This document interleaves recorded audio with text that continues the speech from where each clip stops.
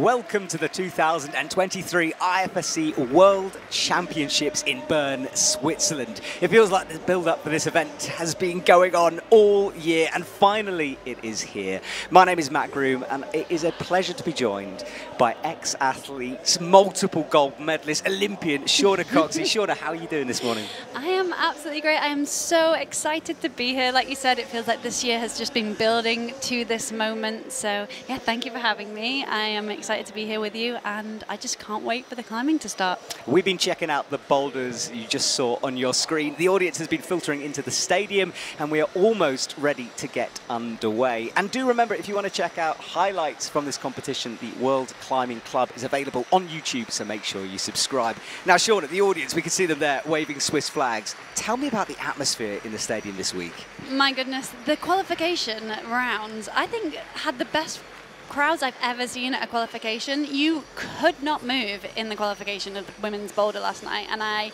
think that hype is just building and building, and you can feel it through the first couple of days, and now we're in the main arena, and yeah, I mean, you can see right here how busy it is already. Everyone is just kind of, you can feel the energy. You really can. There's a buzz in the stadium. That is our boulder wall, 20 metres long, and you can see the different angles on the wall. Slabs on the left, overhangs in the middle and on the right-hand side.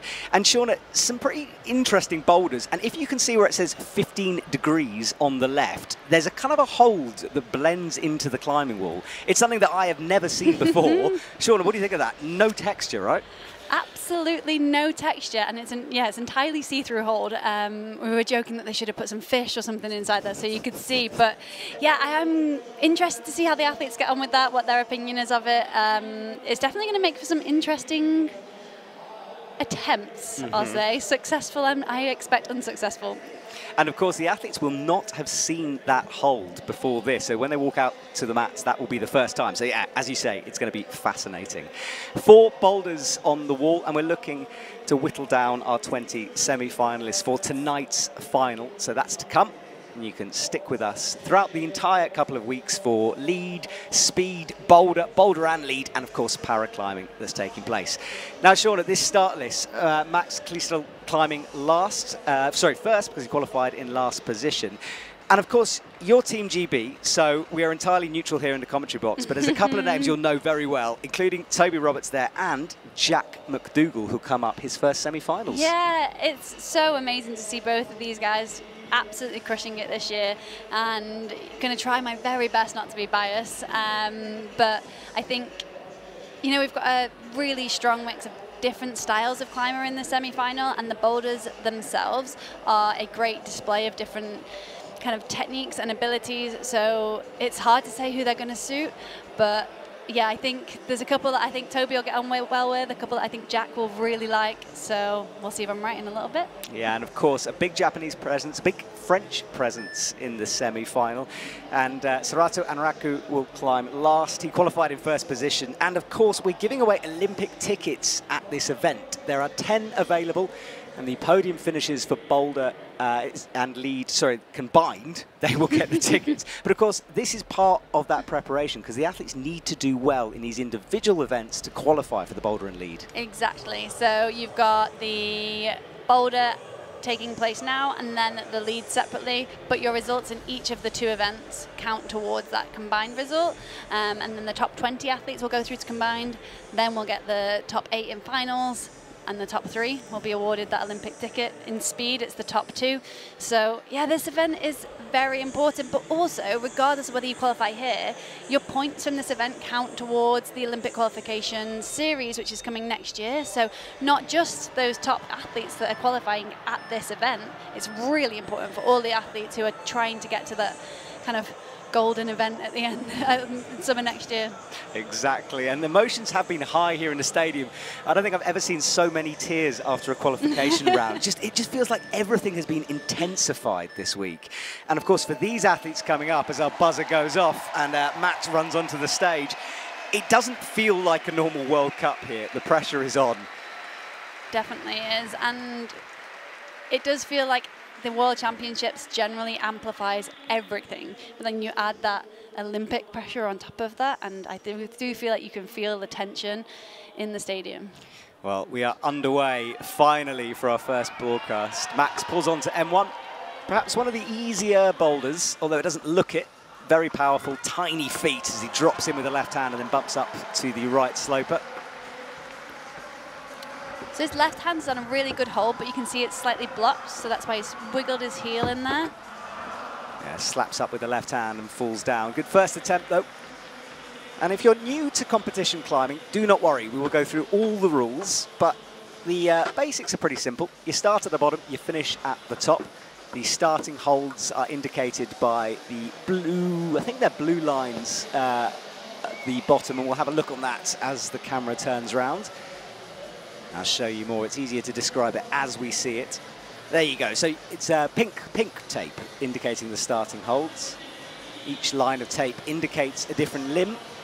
And then you finish on the top, and on that boulder, it's on the right of your screen. And it's important to note that the starting tape, so it's yeah, two hands and two feet, and you need to have control. It can be very fast, but it needs to be a controlled. So you see he's in control, and then he moves. So if, if he were to be moving or not be in control there, then the judge would call him down. So Max was in that control position. He's underway. A little bit higher on the sloper, but still not managing to stick it. Legs swinging out, and, and perhaps needs a bit more body tension on that move. Well, interestingly, it's um, from speaking to the setters, I believe it's been set as a 1-2. So you hit the first slope and then you pull through to the, the second, which is the zone. Um, so you want to hit like really quite fast, whereas we're seeing Max go quite slowly. I think the first one is not very good, so it, it looks like he's struggling to be able to kind of create some tension through that.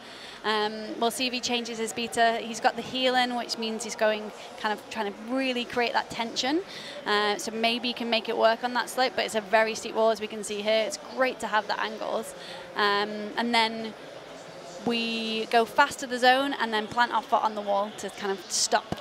And that big I say we, they. They. I, we are not doing that. I definitely, you, you definitely could, but I would, uh, I'd be falling off a lot. Yeah, and there's a big blue panel there on the top right of your screen. No texture on that at all. And there's two of those panels actually on this boulder wall. First time I've seen that in a boulder semi-final. There was a, a panel in the Villars World Cup for the lead recently.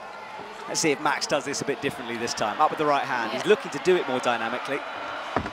Ah, perfect. So you see he opted to not put the heel in, which allowed him to go way quicker. So he's planting his foot on the, the left hold, and so he can really get a lot of pressure, but it's good to have to be fast because it's not a positive foothold. It's big, but you can't kind of claw in on it. So yeah, he wants to get that big pressure through that, loads of power to get the height, but also the sideways movement, and then his foot hitting the wall, his right foot's going to kick into the wall to stop his hips from moving, and hopefully get enough strength through that right arm to stay on. And you could see the smile in his face as he came down that time. It was like Oh, something it's had clicked in his head. right now. Yeah, exactly. Well, you've been in this position so many times. Many what, what does that feel like when you when you sort of like figure it out, although you don't do it necessarily? Mm-hmm. th- Is it just sort of a bit of a weight being. What lifted? you'll see is when they, when you see that smile and they figure it out, the head will turn immediately to the clock. Because the worst that can happen is you can figure it out with 10, 20 seconds to go, and it's, that frustration is so hard to manage. But you know he, he smiled because he figured it out, looked at the clock, smiled again because he had enough time to put into action what he thinks now will work. All right, well, he hasn't got a zone yet, so no score on the board, and the time is ticking down. 49 seconds to go. Oh, so close. Now, although Max touched that zone hold, that's not going to count for his score, is it? Because you have to control, you have to use that hold. Exactly. Um, you want to make sure that you're you're using it. So that means that although he touched it and he was moving, he wasn't using it in the direction to climb. He wasn't putting kind of weight through it. He didn't do any other body movements off it. Um, so unfortunately, that doesn't count for him. He definitely made progress. He wasn't quite close to holding the move on the last attempt, but there was definitely positive progression on the climb, and he knows what to do now. He does, Oh, but he's opted for the other beta, interestingly. Yeah, he's got that left heel in. And it's a no-go for Max. Perhaps burning out a little bit, maybe not having the power to go for that jump. Yeah, and I do think we might see someone do that method that Max was trying because he was a little short then. Um, he came up a little short on the, the first slope hold, but I think someone taller or maybe putting more power through um, could definitely make that work. And then the tension on the left heel, even with the blocker in place, I think we could maybe see someone do that. Well, I was about to say uh, height might come into it, and at that moment, Adam Ondra runs out to the stage, one of our taller athletes, so perhaps he might have a little more reach if he attempts that. Yeah, Adam just squeaked into this semi-final. He was right mm -hmm. down at the mm-hmm. bottom. I mean, job done for him, but he'll want to improve a little bit if he's uh, trying to progress into that finals. Yeah, and on social media, you know, Adam's been chatting about getting through each round, and like that's been the goal to kind of tick each box as he's going along. And this is a long event, you know, so I think kind of getting through to the next round is ultimately kind of where you want to be. Um, I know Adam will be wanting to be in that final. You know, he's where he belongs, anywhere he thinks he belongs, and he should. So he should. Yeah, it's good to have him back. He's picked and choose uh, competitions throughout this year, really aiming for this World Championships. He returned in Prague, his home country, and he goes for the paddle, gets it into the zone on his flash attempt. And look at that right foot, though, slipping on the no-tex. Oh. Up to the top, a quick match from Adam. He gets it done. I almost started clapping. And yeah, I, I kind of getting absorbed in the this atmosphere around us. What a absolute lesson Adam just gave us. That was incredible, isn't it? I mean, you watch Max sort of do well, but not that well, and then mm -hmm. Adam mm-hmm. comes out and does it, and it looks like a completely different boulder sometimes when an athlete does something like that. He definitely seems to have stepped it up from qualifiers. You could see in the way he was holding himself. You know, he walked out, he, he meant business, and um, yeah, he definitely showed us how to do that one. I think, interestingly, um, I think the setters were expecting a really quite big, powerful movement for the last move, hitting the final hold, um, whereas Adam had his foot quite high and managed to make use of that no texture part of the foothold. Well, this is a replay of what we just saw, because it was a sort of blink and you miss it from Adam. Dropping in with the left hand, blocked, of course, so he's got to be precise. Right foot up, into the sloper. It's a bad hold, that right hand. Yeah, it's not great, isn't it? He's trying to get that thumb involved, but it's right on the edge of the no-tex. And then powering off that left foot. So incredibly precise with the hands and the movement. You see his hips, his body was at the perfect kind of length when he hit those holds, so there was no extra movement. Great I, flexibility. I was about to say, I didn't really spot that mm -hmm. uh, when we mm-hmm. saw it. That's incredible. Which I think maybe is why the route setters were not expecting that. No, I don't think so. The athletes do sometimes surprise them they try to test all eventualities, but of course, the athlete's job is to break the beta and do things that they don't expect. And Adam, I don't think we'll see many people doing it that way. Adam is one of the taller climbers. Um, to have both the flexibility and the, the length to be able to kind of split across those two footholds, I think is not going to be something we'll see um, many times again, maybe. No, um, the, the, only one I'm looking at is Paul Jenft, who will come out later on. Mm -hmm. he, he, mm-hmm. has that style where he sometimes does crazy things with his legs, so maybe Paul, but you're right, I don't think we're going to see that much. Now, let's just let you know how the, uh, the system works here for the semi-final. We start off nice and slow, just one athlete at a time, but by the midway point, we'll have four athletes climbing together and then we wind things down towards the end, and Sorato will be by himself as we finish off this broadcast. And tonight is the men's final, so join myself and Shauna for that. And if you are just joining us, hello and welcome to Bern. Where have you been? You've missed Adam Ondra crushing. and we have... Yeah, rewind. yes, exactly. Go back to the beginning. Watch that again. and there is the audience who have been filtering into the stadium this morning. A nice, easy start to the day the audience on the left, and then that middle line there, you can see that's where the coaches are with the iPads ready. Judges in front of the stage, and then the mats, of course, with the brushes waiting patiently. Speed wall on the left, lead wall on the right of the stadium. And we're 56 seconds away from our next athlete coming out. So, Shauna, what's it like for you? I mean, obviously you've been competing on these stages for years. You retired, mm -hmm. um, and then you've come back into the commentary box. When you walk into the stadium, how do you feel? Do you get that like flutter in your hearts that you used to have?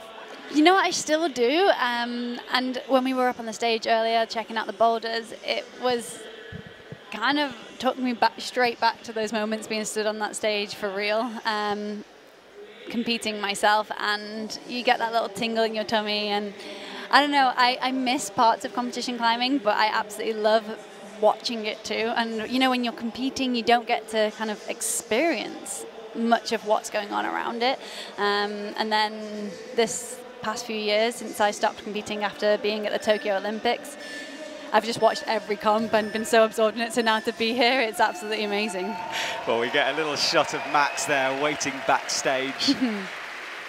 the camera picking him out Eight seconds transition period, and that will become important later on when there's lots of athletes on stage. You want to avoid them bumping into each other. But here we go. Max and a certain Alex Megos run out onto the stage. and Alex, I think people don't realise this about Alex, cause, and he always jokes about it, the fact that he's not used to making boulder semi-finals, which kind of blows I my mind. I don't know how long he can get away with saying that for. I agree with you, because he's, uh, he's made a few now, hasn't he? Definitely considers, considers himself a lead climber, though, Yeah, one of the best climbers in the world, outdoors and indoors. and had a really impressive lead season so far this year. Oh, it's our first look at Boulder 2. Yeah, so more powerful, overhanging, and a bit of a step up from Boulder 1. Max trying to get that left heel involved with his hand. You can see the blocker put in by the setters to, to try to prevent that Exactly. heel hook. And the route setters described the first as powerful electric and the second as powerful basic. Ooh. I know when they say electric, I never quite understand what that means. It's, No, I had no idea, but No. I'm, I mean, Adam just showed us, hey? yeah, exactly. I think it is just that dyna dynamism. That's not a word, but you know what I mean. It's uh, it's just the power. It's dynamic, it. it's exciting, it's risky. Yeah, it is electric. All right, so Alex has a look on the right at that panel. Max is on the right of him. Interestingly, we're seeing two of the three German men that made it through to this round. The German team sent three men here, and all three are in the Boulder semi-finals. Busy day for the coaches then. Mm-hmm.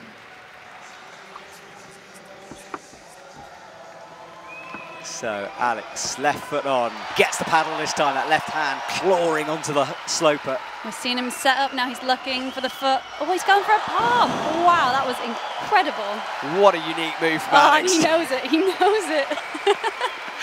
You saw him check it out, a moment of hesitation, then he just launched for it. Exactly. You saw his eyes darting around to decide what to do. Does he go foot? Does he go hand? Oh, really, really close for Max there as well. A blocked hold. Yeah, so Max is left alone on the stage. I think Alex got that done in a couple of attempts, so good work from him.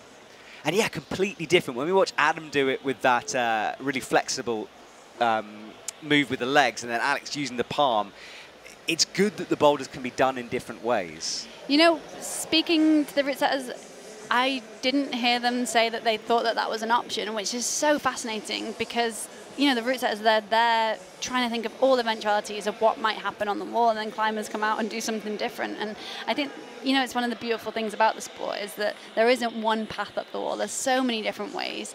Um, people can express themselves and their styles, and that's one thing Remy was saying, the route setter, that he wanted it to be a set of boulders for people to express their different styles and preferences. And as we move through the round, we're seeing two powerful boulders at the start. And then I don't want to spoil it for what's to come, but they're very different to the first two. They are indeed. That is all to come. And it's exciting stuff here. We're seeing Max go for a different method here with a high heel, which looks really solid for him. Yeah, he And then into the blocked hold next. It's got to be very accurate to make sure he hits the bottom of these two holds. Really smooth work from him there, and very different to what was envisaged. Yeah, that left heel. Oh, that's the hold, and you Oh. can see as the camera picks it, he fires off it. Very slopey, not a positive crimp up there. Not what you want. Not what you want, no. and he's just one hole below the zone, so he's yet to put a score on the board, even though he's done a lot of climbing and fought really hard. Yeah, and of course he's got Alex on his left, and he would have caught him out the side of his eye. he knows that the other athletes are doing those For first sure, climbs. you really know, and I think now that I'm a retired athlete, you know, I realize like when you're on the wall how much actually you're taking in, um, and I think. You know, you, you're not allowed to stand and watch the other athletes, but if you've got good peripheral vision, you know, you can't help but see what's going on. Um, and if you turn to see the clock, you'll see again. So it's, it's definitely something you're very aware of. Yeah, so Max is going to have to dig deep here. At the pressure ramping up for him.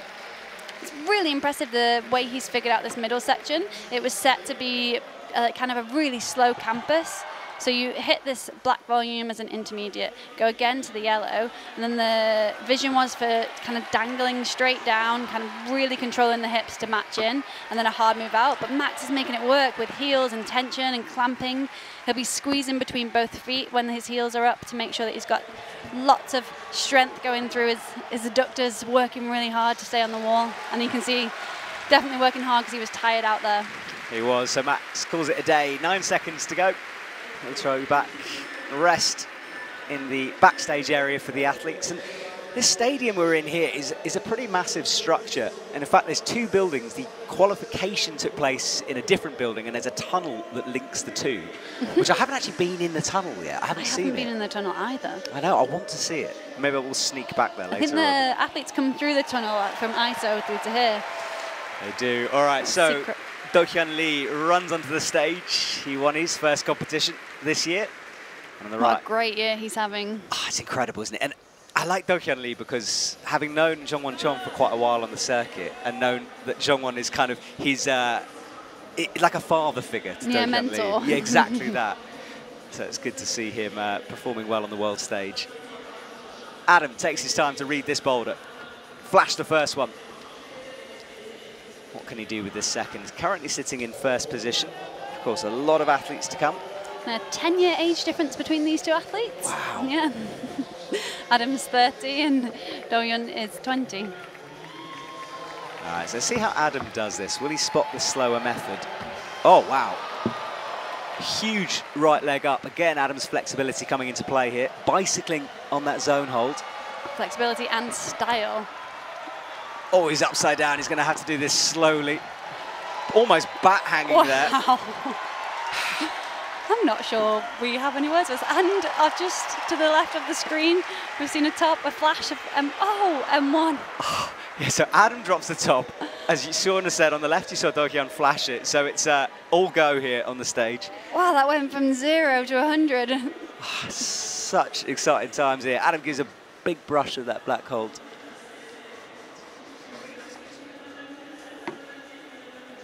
All right, so let's watch Do-hyun Lee here. This was his flash go. So hits the right hand, drops into the left. And this is the bit that I want to see. How does he get through this zone so move? smooth. Wow, yeah, just floating in. This first boulder is a boulder that requires confidence, and we've just had a lesson in confidence right here. You know, he was executing those moves with perfection, but no hesitation. And I think as soon as we see that hesitation in the athletes, it's often when you miss the hole, you don't quite hit it properly, your hips aren't in the right position. Um, but yeah, there's, that's what happens when you don't hesitate. Yeah, and another method for that boulder as well. Mhm. He was kicking with the foot rather than Alex Megos's palm down. Yep, I believe we've just seen the boulder as it was envisaged, as the as it was imagined. You know, that was kind of style and sequence that the route setters intended.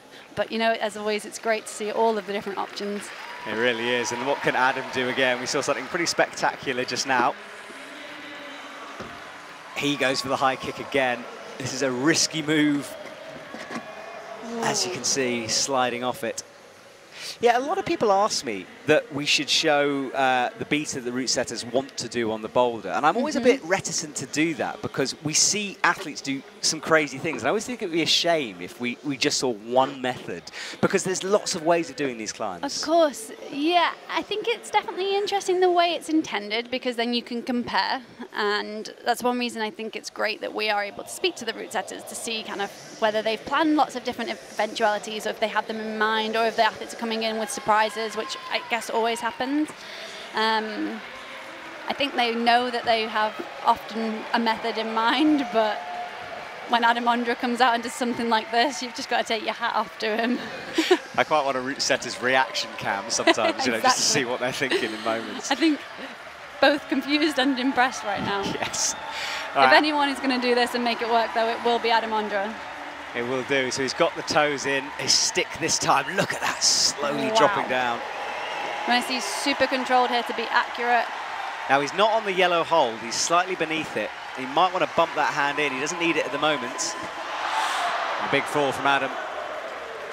Checking out the clock. Now the edge of the arete, the edge of the boulder wall, hasn't got any black tape on it, which means theoretically the athletes can use it, but the setters were saying how it, it just doesn't really help that Mm-hmm. move. So when looking at this boulder, I wondered if it was a palm down on the zone to go to the last hold, so you go right hand again, or whether you match in to the higher black hold and then go right hand to the top.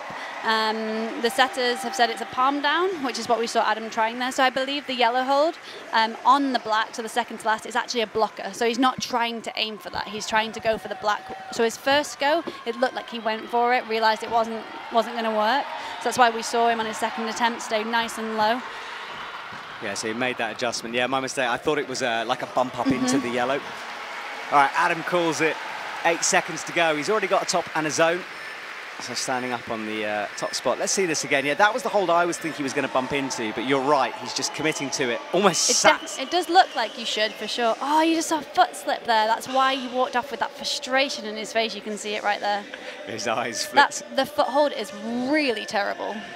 It's not good. Yeah, the uh, on the, the holds themselves always surprises me because when you go to a commercial gym, there's more friction on those kind of holds than these holds sometimes. And although it looks big and good on your screen, they're not very good in terms of sticking to it.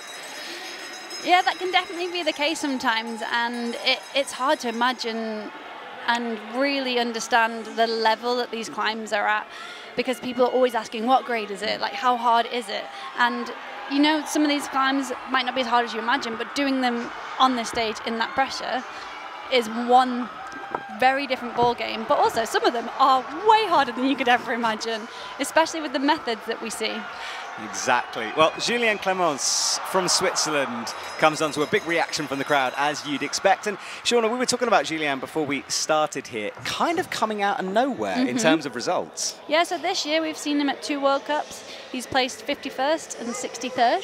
So, yeah, kind of stepped it up for his home World Championships. And what a place to do it. What a place to do it indeed. And the Swiss crowd really getting behind the athletes. But right now, this is Max. He's going backwards, looking for that rotation move that we saw in Innsbruck for the first time. And I think we just saw in his face that he realized maybe that wasn't wasn't the way. It would be really cool to see that work, though. It would be. Alex goes up into the slope and he does this campus method.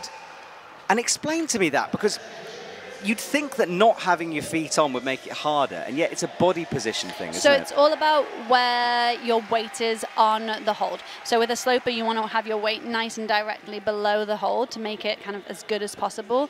And then when you introduce the movement, so we're going sideways, if you leave your feet behind, when those feet come off, it's just going to pendulum you right off the wall. That's why you see Alex bringing his hips directly below that hold, matching, and then trying to go out right. All right, Julian jumps up, nearly holds the zone hold. Knows what to do.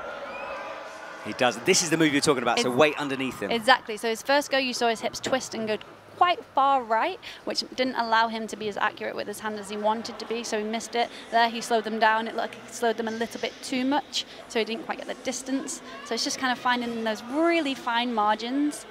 I can just imagine the athletes sort of calculating things in their head, like numbers Honestly, spinning. it just it's so subconscious, and I believe it will be for these athletes too. It just all happens, and articulating what's actually going on is so difficult and something I've spent a long time trying to learn.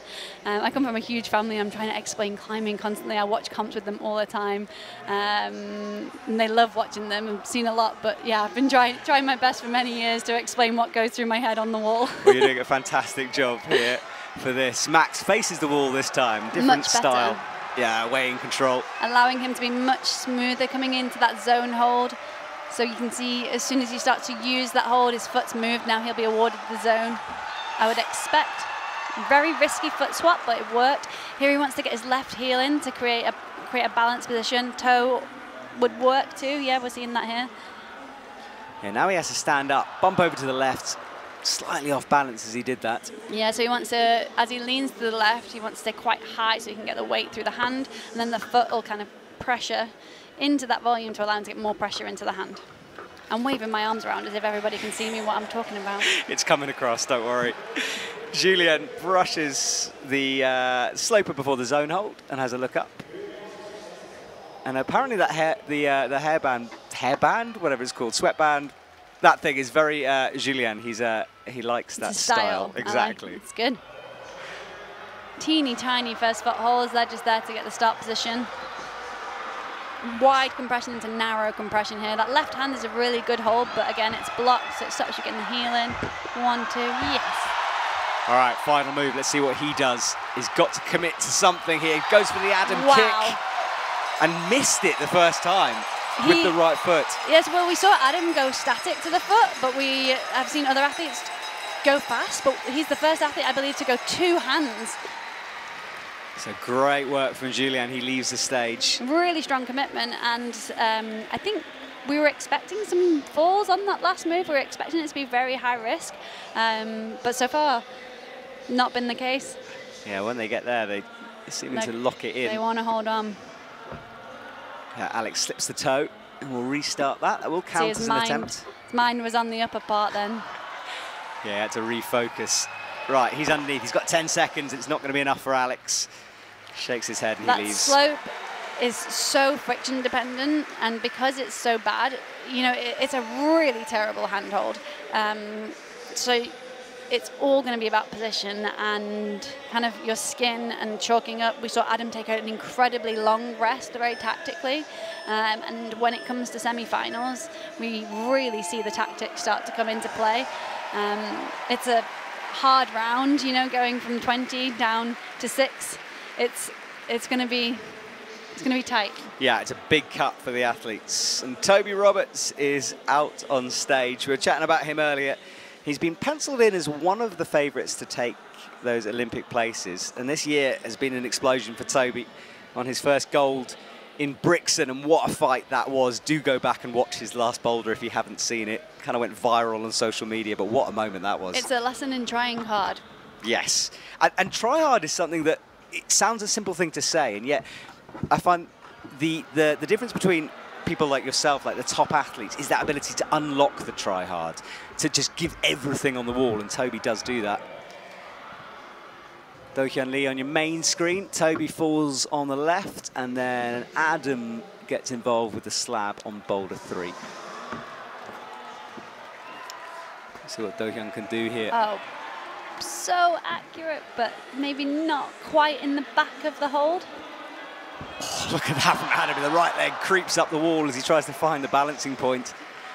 In true Adam style again, doing something totally different. He's great to watch at the moment. I'm enjoying this. I feel like I haven't had enough Adam Ondra in my life this season, so it's good to have him back. So Toby fell on his first attempt. He pulls on again. And you can see the scoreboard on the right of your screen. And remember, as Shauna said, we're looking for our top six. And Adam leading the way with the top and two zones. Toby not seeing the wide compression at the start here, it seems, or opting to just make the most out of that really good hold. Misses a slap. Yeah, do you think his method is, is more tiring or, or perhaps better for him? It, I think it's much of a muchness. You, you know, he's making it work. He doesn't need to change it. What we're seeing on the jump is he's not being kind of snappy enough. It looks like he wants to be a lot faster. Um, so he's kind of arcing his hips as he's going up, as opposed to going straight up. Um, the arc will put more weight into the first hold, but we want to be moving. We, I'm saying we again. He wants to be moving much faster through that first hold to get the second hold, um, and then he can kind of create a bit of compression between the two. But yeah, we need to be a lot faster. I like the we. I, I think you're right because like it's very hard not to feel, Feel everything they're going through, isn't it? Yeah, you get sucked into this thing. I feel like I'm on the wall with them. I know. It's yeah. All right, Dohyun looks for this crimp. It's not good. Remember that right crimp. We saw him change his method there. He was squeezing with the feet instead of campusing and then going again to the zone. But I don't believe he'll be awarded that. Yeah, I don't think so either. Adam creeps over, finds the palm this time, and then drops the move. If he can make that work. I just my lats tensed then as he did that move in sympathy. Uh, much better from Toby. He looked like he knew what he was doing there. If he can get, if, you saw when he hit both of those holds, he was incredibly extended. With dynamic movements, you want to hit them with a little tiny bit of bend in the arm so you can kind of control that movement with your big muscles as opposed to try and dangle off your fingers. Um, but you want to get that balance perfect so then you're not got too much pendulum. Um, definitely tricky. Yeah, like definitely. the tricky. slap. Yeah, we're watching Adam there sort of Mhm, slip, tricky. bring the feet back in. He saved it. Now, come on, Adam. Can he make this palm work? He's just got really sucked into that method, not opting for a foot swap and a heel, um, not trying to go slow. I wonder if he'll change it up with a, with not much time, he does look like he's getting close. And being in that space when you know you can make a movement work, it's hard to then decide whether to try and figure out if there's an easy method because it's so risky.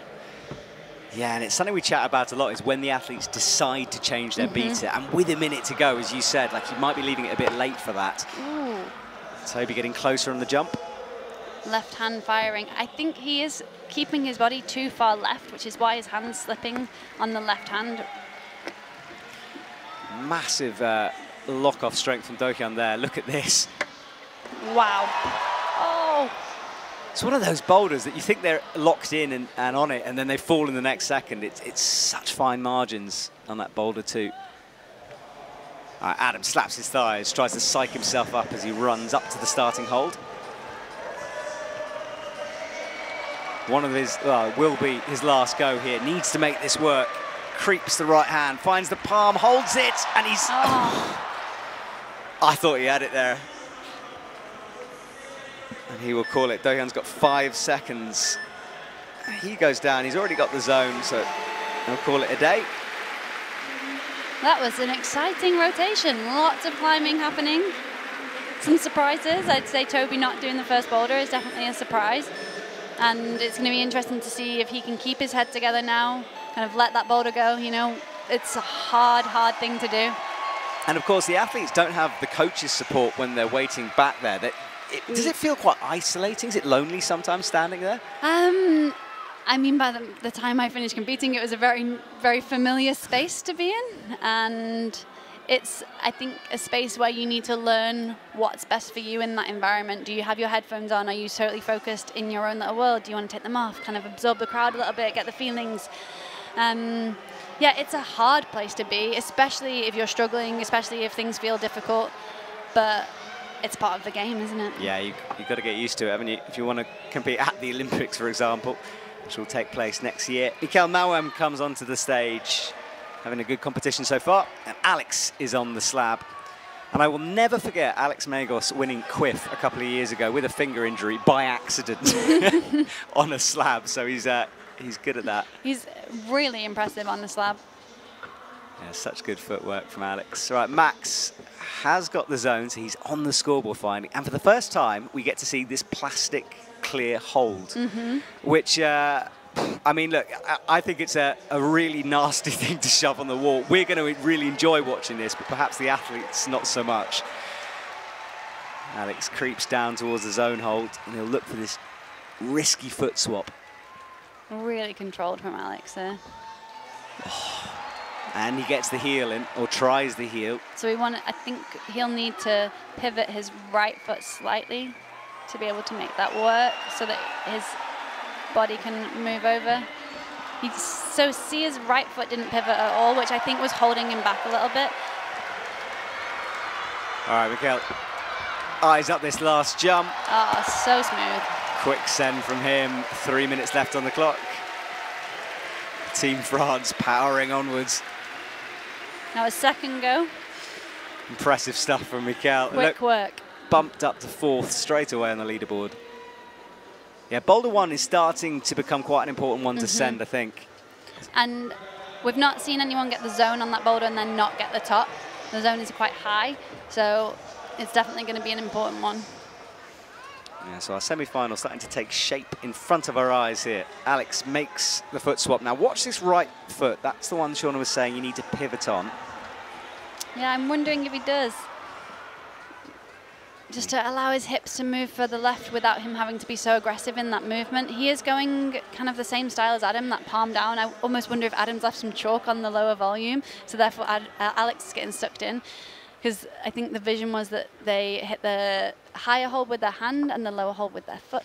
Yeah, it's a very good point that because sometimes the setters will actually put palm prints mm -hmm. on the mm-hmm. wall uh, to sort of give the athletes a bit of a hint. So you're right. If you see that palm print, you might be thinking, well, that might that's, that's the that's method. the way. yeah. yeah. So fascinating stuff here. Two minutes on the clock, and Julien is into this tricky campus style section. That intermediate is an awful hold. that, that three fingers on the black volume. It's almost not a hold at all, is it? No. I don't really want to call it an intermediate. It's just a thing. Right, Alex again drops down onto the slab. making that. Oh, we've seen him move his foot a little there. See his heels slightly further away from the wall on his right foot now. Which should allow him to get further over. It was more controlled, but still fast. Yeah, just overbalancing there a little from Alex. I do really like the start on M3 actually. There's lots of different methods to start, and I quite like the little run and hop on. Um, and I think we'll see many different ways of the athletes getting on. Yeah, and the start hold is, goes. it's one of those things you see on like route setter forums or on Instagram. it's like multiple stacked jibs all together to make that But hold. quite positive. Yeah, a good sharp crimp to start. Alex making a foot swap. Look, casual now, gets the heel in, but this is the move that's proved tricky for everyone. Just can't hold that palm. Julien leaves the stage on boulder two. Really love to see him try the, the different method, the left hand higher and the foot step across, but I'm not sure he's going to opt for a different method. Again, I imagine he's feeling pretty close, and there's definitely going to be chalk there now, so it will probably suck other athletes into this method too. So it'll be interesting to see if anyone figures out to go back to trying that high foot. Yeah, Alex has got 17 seconds. So as you say, this he's got to commit to it, holds it for a second. And I think Alex might be done. He's already got the zone. And he has a little a high five to Max, who ends his competition. We didn't talk much about Max there, who was on boulder three. I think we'll see a lot more of that with the, the no texture hold. Oh, there's a Dohyun Lee getting confused in the background. Toby waits. And yeah, Toby not finding a top on that first boulder now really needs to begin his competition. Mejdi Schalck runs on. And again, Mejdi is one of those who people are penciling in for a potential favourite in terms of the combined later on, the boulder and lead later on. I mean, understandably, what a year he's had. Oh my goodness, two gold medals. And it's the maturity of Mejdi that I've been impressed with because before this year he was obviously very good, but he had that, that sort of youngness to him, Mm-hmm. which is a bad way to describe it. But he went away for the off-season, trained, and came back with a different headspace, and it has been impressive. I'd almost say there's a confidence about him that, you know, I think confidence can go both ways, but he's kind of really owning who he is and his style and just climbing with such confidence and certainty on the wall. It's, yeah, it's incredible to see. It really is, yeah. Ah, we saw the, the foot there, so he adjusted his right foot quite drastically, which I do think will help him out. Yeah, Adam held that What clear hold for a second. Now he presses up towards the top. Yeah, so that plastic hold, I can't wait to see more of that in action. Mejdi again drops into the compression move, but pops a foot. A little hesitant there. Yeah, maybe some nerves need to be settled for Mejdi mm-hmm. and for Toby as well. Yeah, trying that campus method, but almost missing the blocked hold. Let's watch Adam Ondra again on this. So, up to the no texture.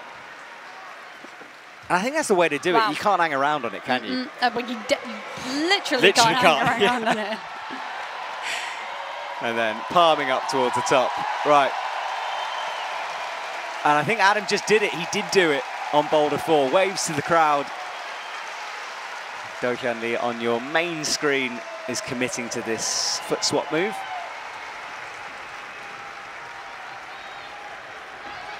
Side of the foot for him and then finds the heel, changes it into a toe.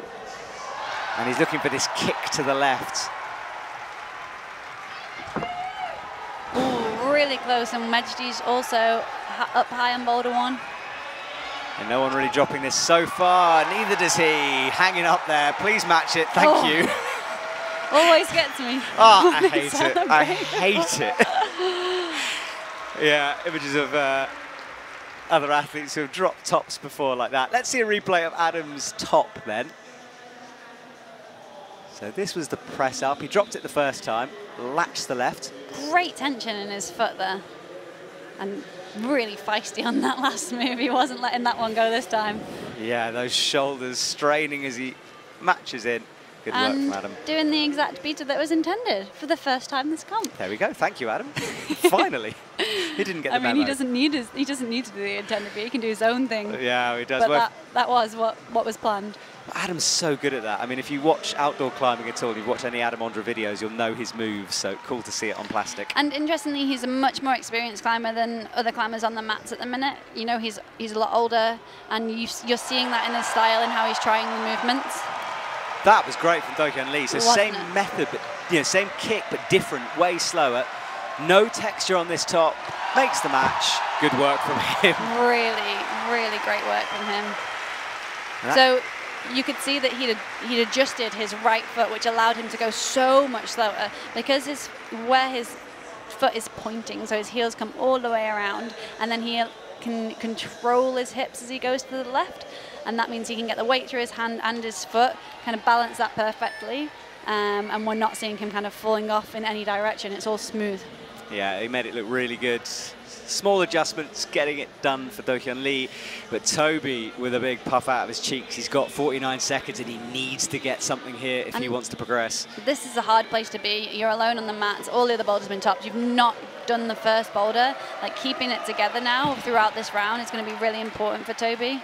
We're seeing him try kind of the much more basic method, not getting too creative with the feet here, just kind of trying to stay super strong. But that right hand is so bad. Yeah, be, hopefully we can get a closer shot of it at some point because it, it looks like a, a crimp on your screen, but it's mm-hmm. slopey. Yeah, I mean, it, it is a crimp, right? But it is a really bad one. It's not in cut. And often when we talk about crimps, you know, we're thinking like small, in cut, really positive. This is small, slopey, terrible. yeah, not easy to hold on to. All right, well, the you can see on the main screen the athletes being held, waiting for this moment. Manu Cornu has changed his hair for the third time in three days. It was blue, It then it was was. blonde, and now it's red. Which I suppose, to be fair, French flag, I mean, you know, you can see what he's thinking. I like it. Yeah. Manu with a bit of a niggly injury as well.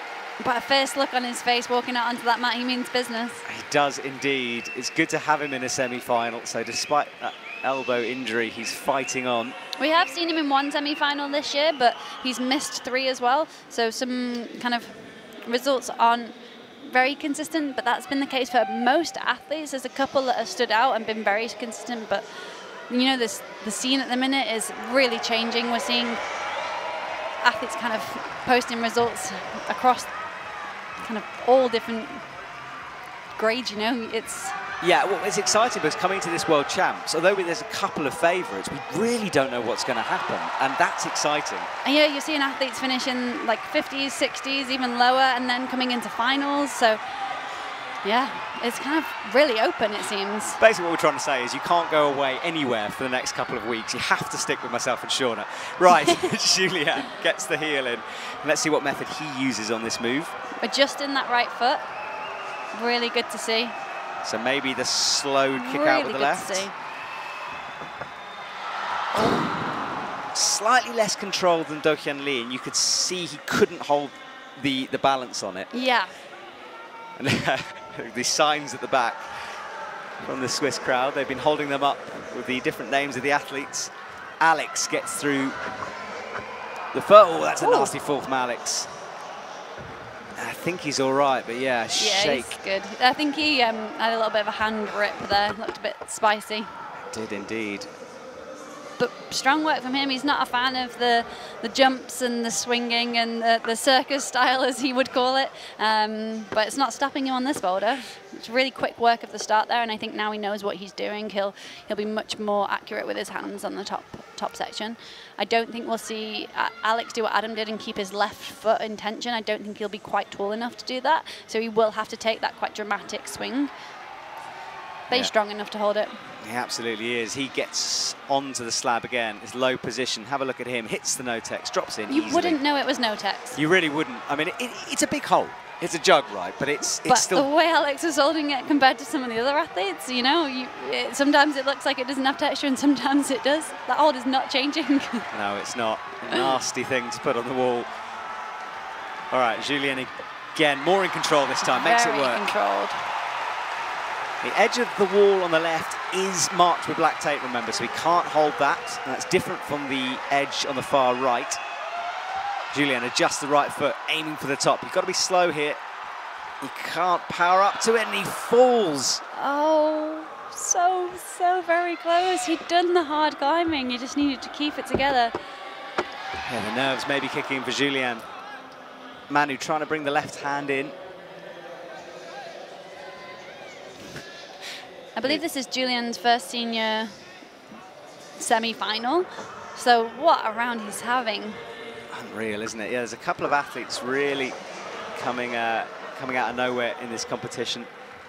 All right, Alex does this press up again. This is this circus style move you were talking about. Let's see how he can work it out. Up with the left, just, but comes down. So I thought he wouldn't be able to do Adam's method of keeping the left foot. It looked like there he was trying to. So you could see he couldn't quite get the height and the distance because he was going much more controlled, much more smooth um, in order to try and keep the tension. So Alex goes again. He's straight back on the wall. Julien as well. He got through this move before, much more confident this time. Mm -hmm. Can see it in his face.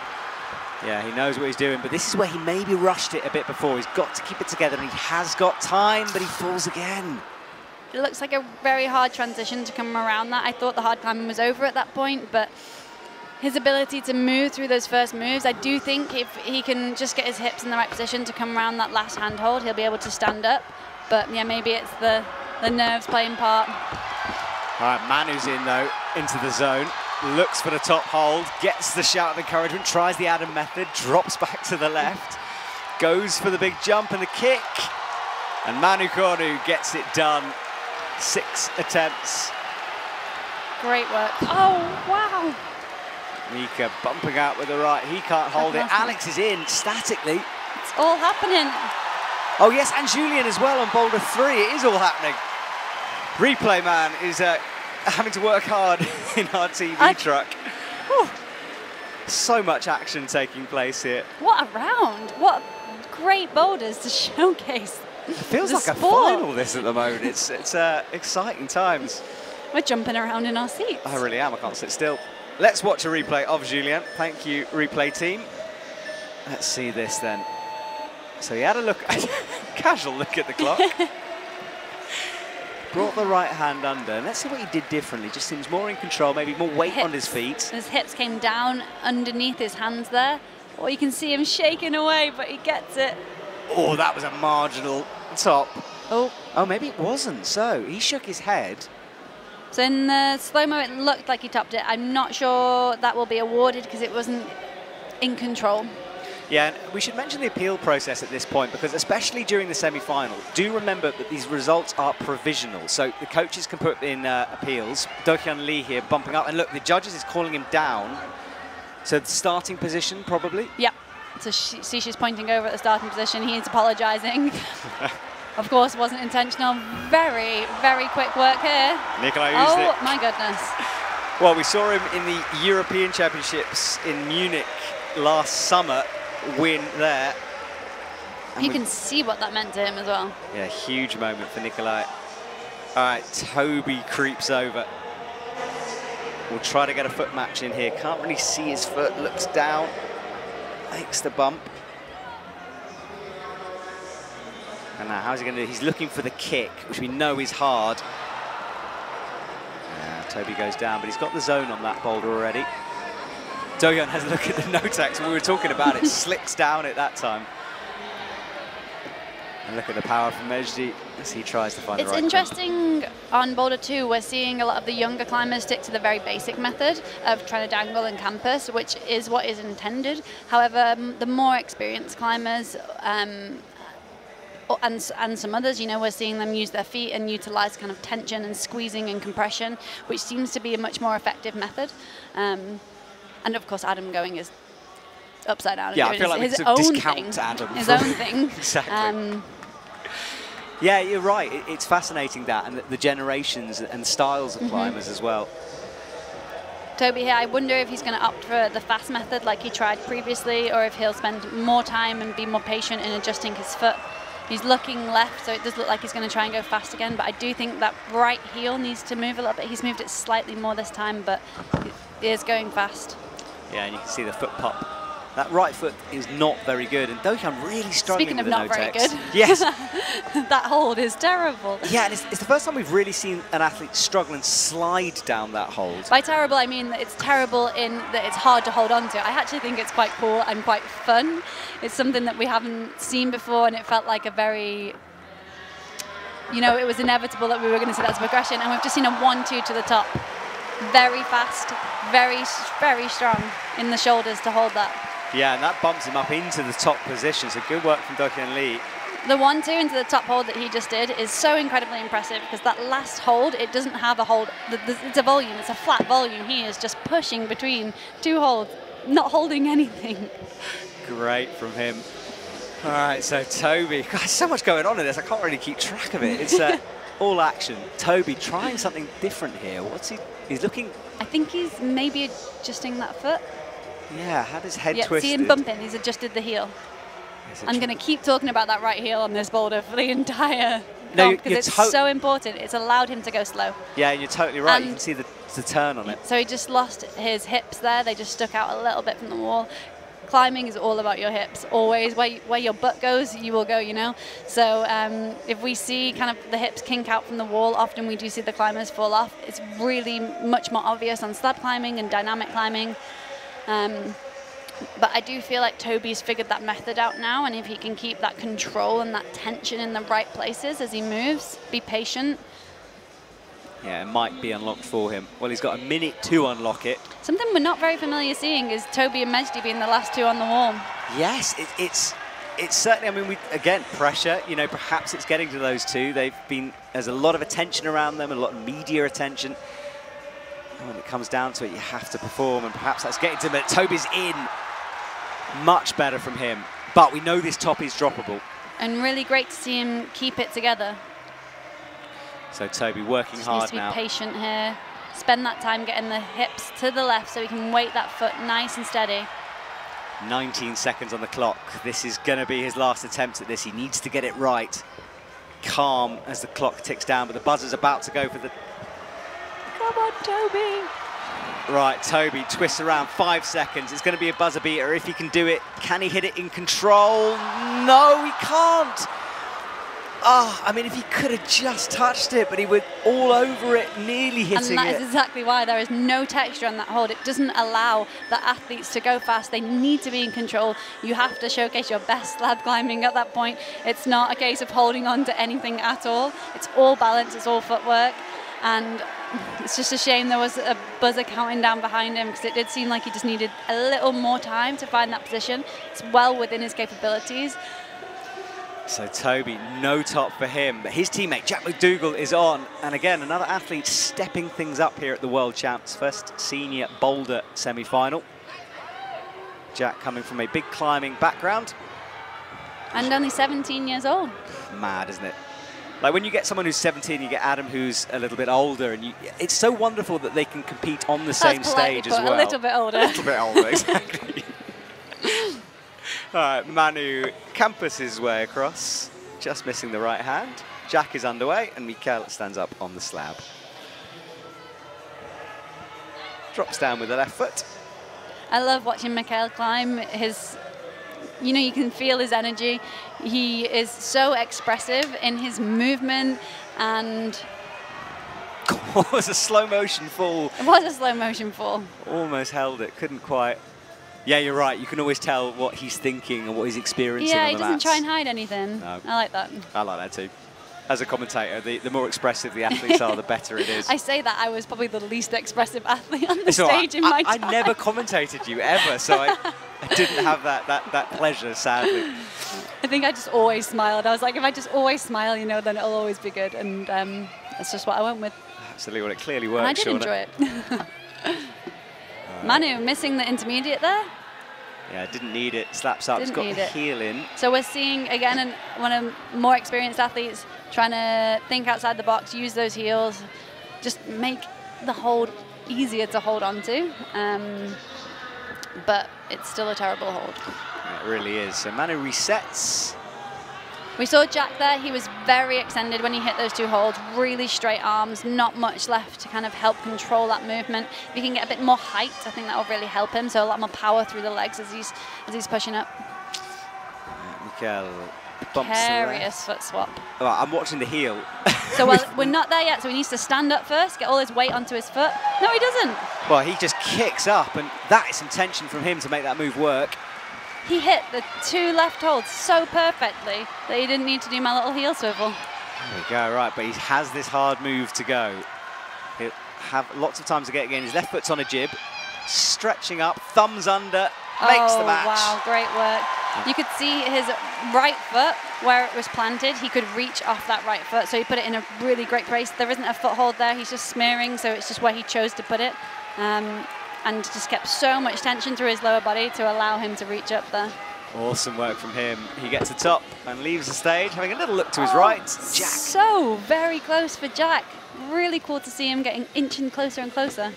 Yeah, he needs this boulder one. Remember, it's one. If you look at our top eight, for example, all of them have got this, so it's important. Definitely wants to get a bit more height to be able to control that movement, really get the strength going through his back so he can squeeze between those two holds.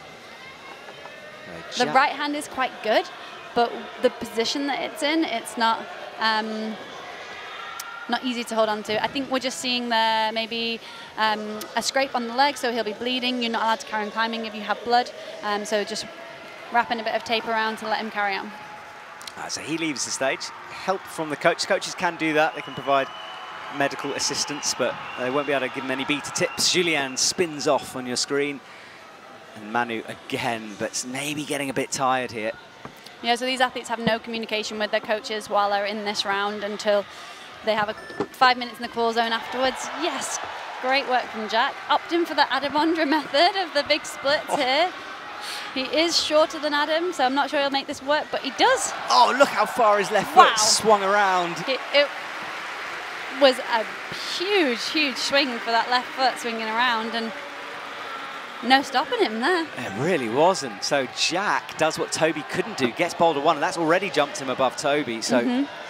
fascinating here. I don't think I would have predicted that coming into the semi-final. So already a couple of upsets. Julian hypes the crowd. Love to see that. Absolutely. So the home crowd, you know, look at it. Look how many people are here. Yeah, the stadium can hold 10,500 people. He's having a great time out there. Look at him, smile on his face. He's going again with only 15 seconds to go. Why not? Why not indeed? Uh, that's it. The bitter end. and a roly-poly dismount to finish things off and about. Well done, Julian. I'm clapping you in the commentary box. Congratulations, my friend. That was a good round. really, really great round for him. Right, And some well, impressive climbing too. yeah, we take a deep breath in the commentary box because things are going quickly. Halfway through, at least, on this semi-final. Julien gets out of the way. You can see French flags being waved, Swiss flags. And uh, exciting times for the audience and us here and you at home. And if you are just joining us, welcome to Bern. This is the first broadcast, men's boulder semi-final. Myself and Shauna Coxsey in the commentary box. And Paul Jenft is on stage for the first time.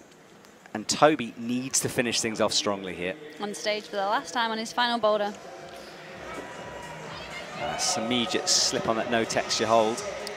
I think on Boulder 4 we're seeing what you what you would normally do is kind of hit a hold and like use the texture and the hold to ride the movement, whereas with the no texture you're just having to move very fast through it and it's kind of aiding you a little bit but not as much as normal. Yeah, good point. Paul jumps up to the zone, makes the Fast match. work. Now, yeah, I kind of expected that one. But, oh, maybe not from Paul. You can see his brain ticking over. Does he kick the foot? Does he go for the straight jump? Remember, there is a palm available, but it's pretty crazy. He hits it with the right. Over with the left first and then in with the right. Awesome from Paul. I love Great watching Paul climb. I really do. So, Paul, job done. He leaves the stage. So Jack's the only one who's opted for the splits. I thought he might be a bit short, but he made it work. And then um, Paul was the only other one we thought might do it. So I wonder if we'll see that again. Exactly, proved me wrong, didn't he? So Paul doing a different way. And toe, Very confident climbing from Paula. it is. I just, I, I do love watching Paul climb because he, he finds different methods, especially on the lead wall. Right, Mejdi on the slab. Trying to work out the hand and the foot swap. Gets the left in. Looks down. Nikolai as well. We haven't talked much about him. He's on boulder two. Using the campus method, makes the match and all his weight under him. Easy into the crimp, but then loses the left hand. But yet to see a top of boulder two as well. Nikolai flashing boulder one, so it could be really good to see him on the upper section if he can make this midsection work. Yeah, it's a good point. Look at the scoreboard. The uh, the boxes go all the way, filled up to yellow for a top, halfway for a zone, so you can keep an eye on which boulders are the hard ones. Toby trying to get a different foot sequence. Slips again. It's definitely worth exploring different options if you're not feeling comfortable on the move that seems obvious to you, I think it's really worth trying to explore them. And then it's so hard to know when to come back to the method and which method to choose. Um, I'm seeing Toby go back to the jump there. Yep. Definitely need a little bit more feist, but Nikolai looking strong on that sloper. Oh, misses the, the crimp straight up to the sloper. And that just explains how bad that crimp is. Yeah. Because you know that slope is bad. It's interesting you talk about sort of like finding different methods because I see something you do a lot on your Instagram when you climb is kind of playing with moves. Mm -hmm. You know, mm-hmm. finding a boulder and then working out different ways of doing it. My yeah, my absolute favorite thing about climbing is the movement, and I'm just fascinated by it. And I think when I was competing, I would do very different movements. Great example of different movement. Mejdi being very bouncy there, and no, no problem at all on that last move. No hesitation. Really, really strong with the with the hips and the legs. Such great leg strength there. I'm so pleased you called him bouncy because I've been calling him bouncy for a while. So I'm glad that you agree. Incredibly bouncy. Youthful. Yes, he has that. He's just got that style. It's that new school style that um, does lend itself to some of these boulders. Right, so Toby, minute 15 to go, has not had the round he'd want. He's outside at the moment. That was much better though, so it'd be really cool to see him stick that move, you know, especially having struggled on it to, to, to overcome that. Nikolai just on the top of the screen there looked like he was quite high up on boulder two. Yeah, he's getting closer. Toby's left, boulder one and three have so been climbed for Toby. We're seeing him slip quite a lot on that first hold, but what he needs to do is get a bit more power through the arms so he can get his hips up and over, really, really committing to that movement from the very get-go. So really feisty from here all the way through until he pauses on that move there. So see he's a little bit low on his arms. He wants to be nice and high in his chest. Yeah, and he shouted out to the crowd there, frustrating from Toby, and he, uh, a smile on his face. He's going to keep going, of course, but knows he's not quite unlocking this. Goes again. Snappy, but misses it. It's definitely important to remember, you know, these a lot of these guys, they were doing... Oh, just pause it. I was pausing there to see whether he could, Nikolai could take that move. That was incredibly close. Um, these guys, a lot of them were doing lead qualifiers yesterday morning. This is a long event. Um, for athletes like Toby that are, are here focusing on the combined, you know, it's going to be really important to keep that in mind. Um, for the athletes themselves, of course, you want to compete in as many rounds as possible. They're here to be part of the event. Each round is is a bonus, being able to climb in it. But you know that combined and that Olympic ticket is a long way from now. Yeah, absolutely. And skin management, energy management, all of that comes Having into play. Having been through the Olympic qualification process at World Championships in Hachioji in 2019 and competed in many rounds of that competition uh, where I did qualify for the Olympics. Oh, it was exhausting. And, you know, I think it's going to be so important for these athletes to, to really reflect and pace themselves and be thinking about that as well. Um, of course, not during the round. Everyone's giving everything. They, they want to get to the top of these boulders. They want to get to the top of those routes. Um, it's kind of when you come away and step away, it's going to be important to kind of take that time to reflect for all of the athletes. Definitely, yeah. And Jakob Schubert, well, he's an experienced athlete. He's done this many times before, and he's in good form at the moment. Qualified and high up on the lead wall yesterday. When isn't Jakob in good form? I love it when he is. I really do. I mean, we said in the uh, Daily Show how much I enjoyed watching him, and look at this from Jakob. Swings over, makes the move to the zone, and he does the Adam Ondra stretch. Palm down as well. Oh, wow. Oh, well, Jakob's in form, I think we can safely say. That was a flash. Good work from him. It was a flash, and it was so impressive that he knew his body so incredibly well. He knew exactly how strong he could be through his limbs at that time. I didn't see anyone palming down on that last move. I don't think anybody else did.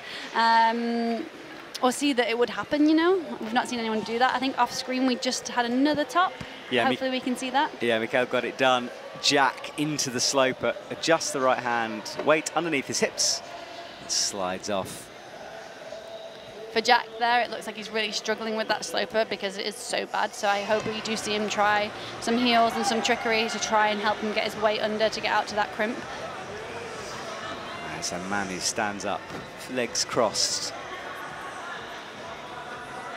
Left foot on that sloper. It's been slightly stacked if you're a route setting uh, geek, as many people are.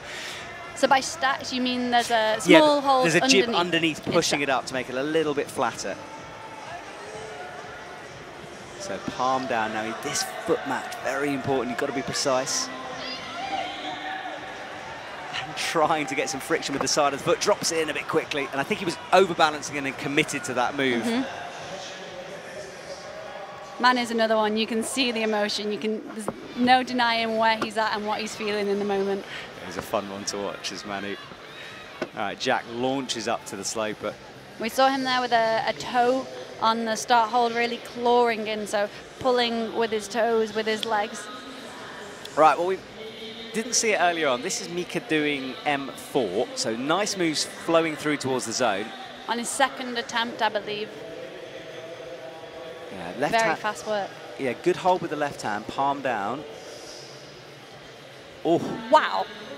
So he jumped, hit the second to last hold, hit the last hold, and his right foot, all in one movement at the same time. We talk about new school style. He's not one of the younger climbers. He's 33, but we are seeing new school right there. You can teach an old dog new tricks. it can be done indeed. right, Manu's uh, alone on the stage, I think. Is Jack still there? Can't Jack's see. still there, There Jack's still going, yep. So Jack is a minute 23. At either end of the stage, though, so kind of got their own zone. Yes, this is good to see that he's really trying to figure out different ways. Great creativity, you know, trying to do that match. Really, it didn't look feasible. It looked so, so, so hard for him, but he's thinking outside of the box. Really, really cool to see. Yeah, he's climbing well at the moment. Brushes the hold, makes sure of the friction, looks back up at the audience. Manu runs up to start. Great footwork from him. Bumps down. As we know, easy starts comparatively, and it gets harder and harder as it goes on this boulder. Watch that right heel if he rotates through it. Doesn't need to. Doesn't need to. Keeps the tension so strong there. His hips were glued to the wall. Absolutely not falling out at all. Gets the knee involved. He's Always- got a wrestle on his hands here. Yeah, this is a fight. 26 seconds. He knows this might be his last chance. Wow. Breathing heavy here as he, he'll try to find that jib for the left foot. He's not on it yet. Now he is. Pops and goes. So close. Ah, Manu, yeah. Head down. That's why we love to watch him climb. You know exactly what's going on in his head. But the audience respond. They'll lift him up for that final climb. I can't believe we've still got seven climbers to come out. Yeah, I know. My hands are so sweaty. I, I need water here in the commentary box. I'm losing all of my body fluids. It's gone. Right, exciting times. We have this transition. And that is Meichi Narasaki. You can see him as he enters the stage. Brother of Tomoa, of course. He'll be out just after him. Yeah, you're right. Exciting, the two brothers together. Paul Jenft on the right. Nikolai's on, and there is Meichi. Much different sort of body type from his brother, and it's I find it interesting because they must train and climb together quite a mm-hmm. lot, but such different styles, those two. Definitely, yeah. We saw Meichi kind of get stronger and stronger through the seasons as well. You know, Tomoa kind of burst onto the scene, was incredibly successful, whereas Meichi's definitely got better and better throughout the seasons. It's great to see. Must be really nice climbing with your brother alongside him in semi-finals. So cool, wasn't it? Well, Mejdi bouncing up to the top. Exactly the same as um, Mickael earlier. Really similar movement. Um, Yeah, and, and you could see how much that means to him, hyping himself up. what we would expect from him in that new style, you know, really confident, really bouncy. Cool to see. It like is. it's incredibly impressive to be able to do so much at the same time. Yeah, all the limbs going in different directions. Also, at the top of the wall, you know, I find it pretty scary up there. But these It's guys, high. these guys do not make it look like that at all. Yeah, I, I'm always so impressed that athletes can fall from that height and, and land safely. You know, it's like cat-like reactions. You know, the higher you fall from, the longer you've got to Well, that's true, yeah. That's a good point. Right, so Paul drops down. So Meichi and Paul together now, and Nikolai down at the end. It's interesting when you're in that space, you know, stepping up on the mats earlier and being there, you know, outside of competition. It's like, well, that looks like a scary move. And suddenly, when you're in competition, you're just so absorbed in what you're doing and, and in the movement, you, you're not even thinking about all of that. Yeah, it's something Aseta said to me once, which is, look, we test for safety, obviously, but sometimes you just don't know what the athlete's going to do, and they will do anything to try to top a boulder. And you see that every single round. You see someone do something that nobody else will think of. And I mean, the route setters, the coaches, all the other athletes. Yeah, it's hard to predict every eventuality. I mean, Shauna, a lot of people are going to be asking after this if you're going to return to uh, the World Cup and comp I've scene. had that question. Are you tempted now, having seen this stuff? No, I, I'm not actually, and I'm probably less tempted because I love being on this side. I love getting to see it all, and the only thing I would really like to do is be able to get on the boulders. Um, so maybe one day that we could do a little pre-session on the comp boulders before the commentary. That'd be great. I would love to see Um, that. We'd love to film that as yeah, well. That'd no, awesome. that's what I would love to do. Um, and that's kind of the only thing that would tempt me back is how fun these boulders look. Um, of course, not these boulders. Um, Well, you never know. If- the women if you send the men's boulders, then you've definitely Oh, in got fact, to you know what? I would love to try the men's boulders. They look so fun.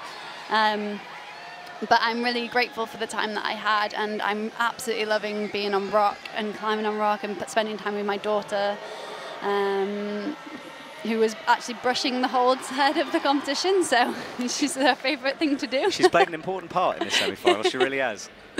Only the footholds, though. She's not very tall. She can't reach very much. Definitely still counts. the athletes will have to uh, give her a little tip afterwards. But yeah, it's it's really nice to be here and to be back in this environment, but in a very different position. I don't miss the drama of it all and the stress and the pressure, um, and you know, so much of that pressure is, is comes from yourself. Um, but yeah, I've been excited about rock climbing for so long, and I'm excited to be able to be in that world now and absorb myself in that world without distraction, and then come back into this world and, and really enjoy watching and experiencing it from a very different place. I also am the president of the Athlete Commission, so I spend a lot of time talking about competition climbing and being involved in decision making and kind of getting the athlete opinion uh, into the IFSC at board level. So I spend a lot of time working on that. So it feels important to be here and be surrounded by the athletes. We're running elections at the minute.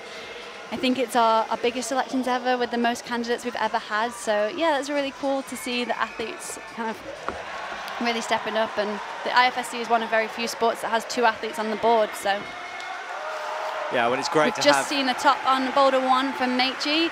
Took him some time to figure out his his method on the on the jump. But he was really close a few times. But great to see him get that stuck. Yeah, good work. And then Nikolai with the heel in starts to rock over.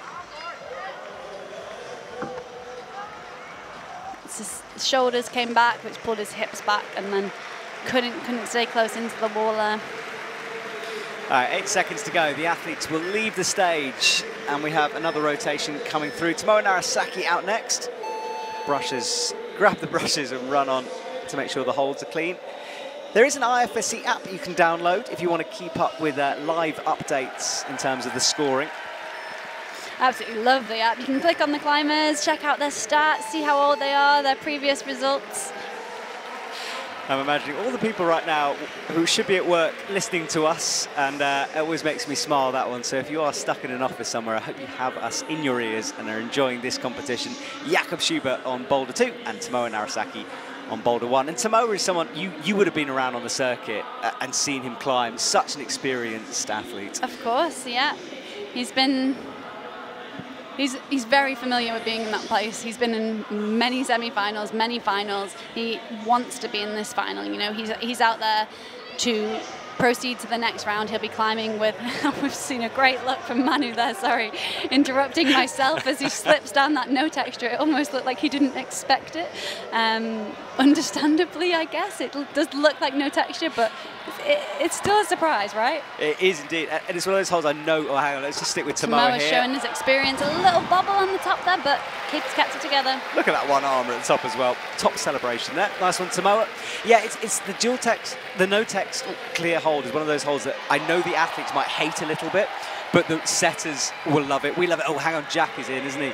Jack loves a slab, as he is demonstrating right now. Such control from him. Incredible movement. Uh, He's got that left toe drilled into the jib. Just the top to Come go. on, Jack. He's got a thumb under, needs to match it, shaking. And that should count. He certainly thinks so. It seemed like he was in a control position. I did see his hand go to the left a little bit, so we'll see. I don't think he was anywhere near the black tape, but importantly to know there is black tape on the wall that you cannot reach around it. It didn't look like he did. Right, Jakob is Really alone. strong work from Jack there. Ah, it was brilliant, wasn't he? And look at his score as well, seventh at the moment. Let's see Manu. So he sent this off screen into the good hole with the left hand. Springy on that first move. He's going to need to bring that spring here now. And we've seen all of the French now execute that last move with such precision. Little hesitant on the match here. He's just trying to figure out where his body position needs to be to make it work. Yeah, shouldery press, facing the wall. Then I think he's going to turn out. He is going to turn He's out. just having a moment, as he should. he definitely deserves that. That bumped him up to fifth currently. Of course, we've got climbers still to come out. So one thing that's important to know if you are following the results, it can be quite tricky to figure out what's going to happen because there are climbers who are still to come out that qualified really high. So they're the, the, the climbers that perform the best in qualification. So you would expect them to kind of come straight into the, the higher numbers, but that's not always the case, as I'm sure you've experienced many times. So yeah, it's it's definitely worth refreshing the app nice all the time, keeping up to date, Exactly. nice and frequently. Just because you climb uh, in the first place, therefore last, doesn't mean you can't qualify. It's such a strong field here. Jakob is sitting in 10th, only on M2, of course. Lots to go. Super powerful as he statics through, keeping his weight underneath him as he'll look for the. Oh, he goes for the huge slap up to the zone. It's just really showing how poor that blocked crimp is, or that blocked small hold. And of course, it will be getting. I mean, it's being brushed, but we've got a lot of athletes touching those holds. So a bad crimp can turn into a really nasty crimp by the time we had all that dirt and chalk on it. Uh, Yeah, and the brushing, you know, it changes the holes. The holes do change throughout a round. It's part of the sport. Um, it's also getting hotter, which is a really important factor.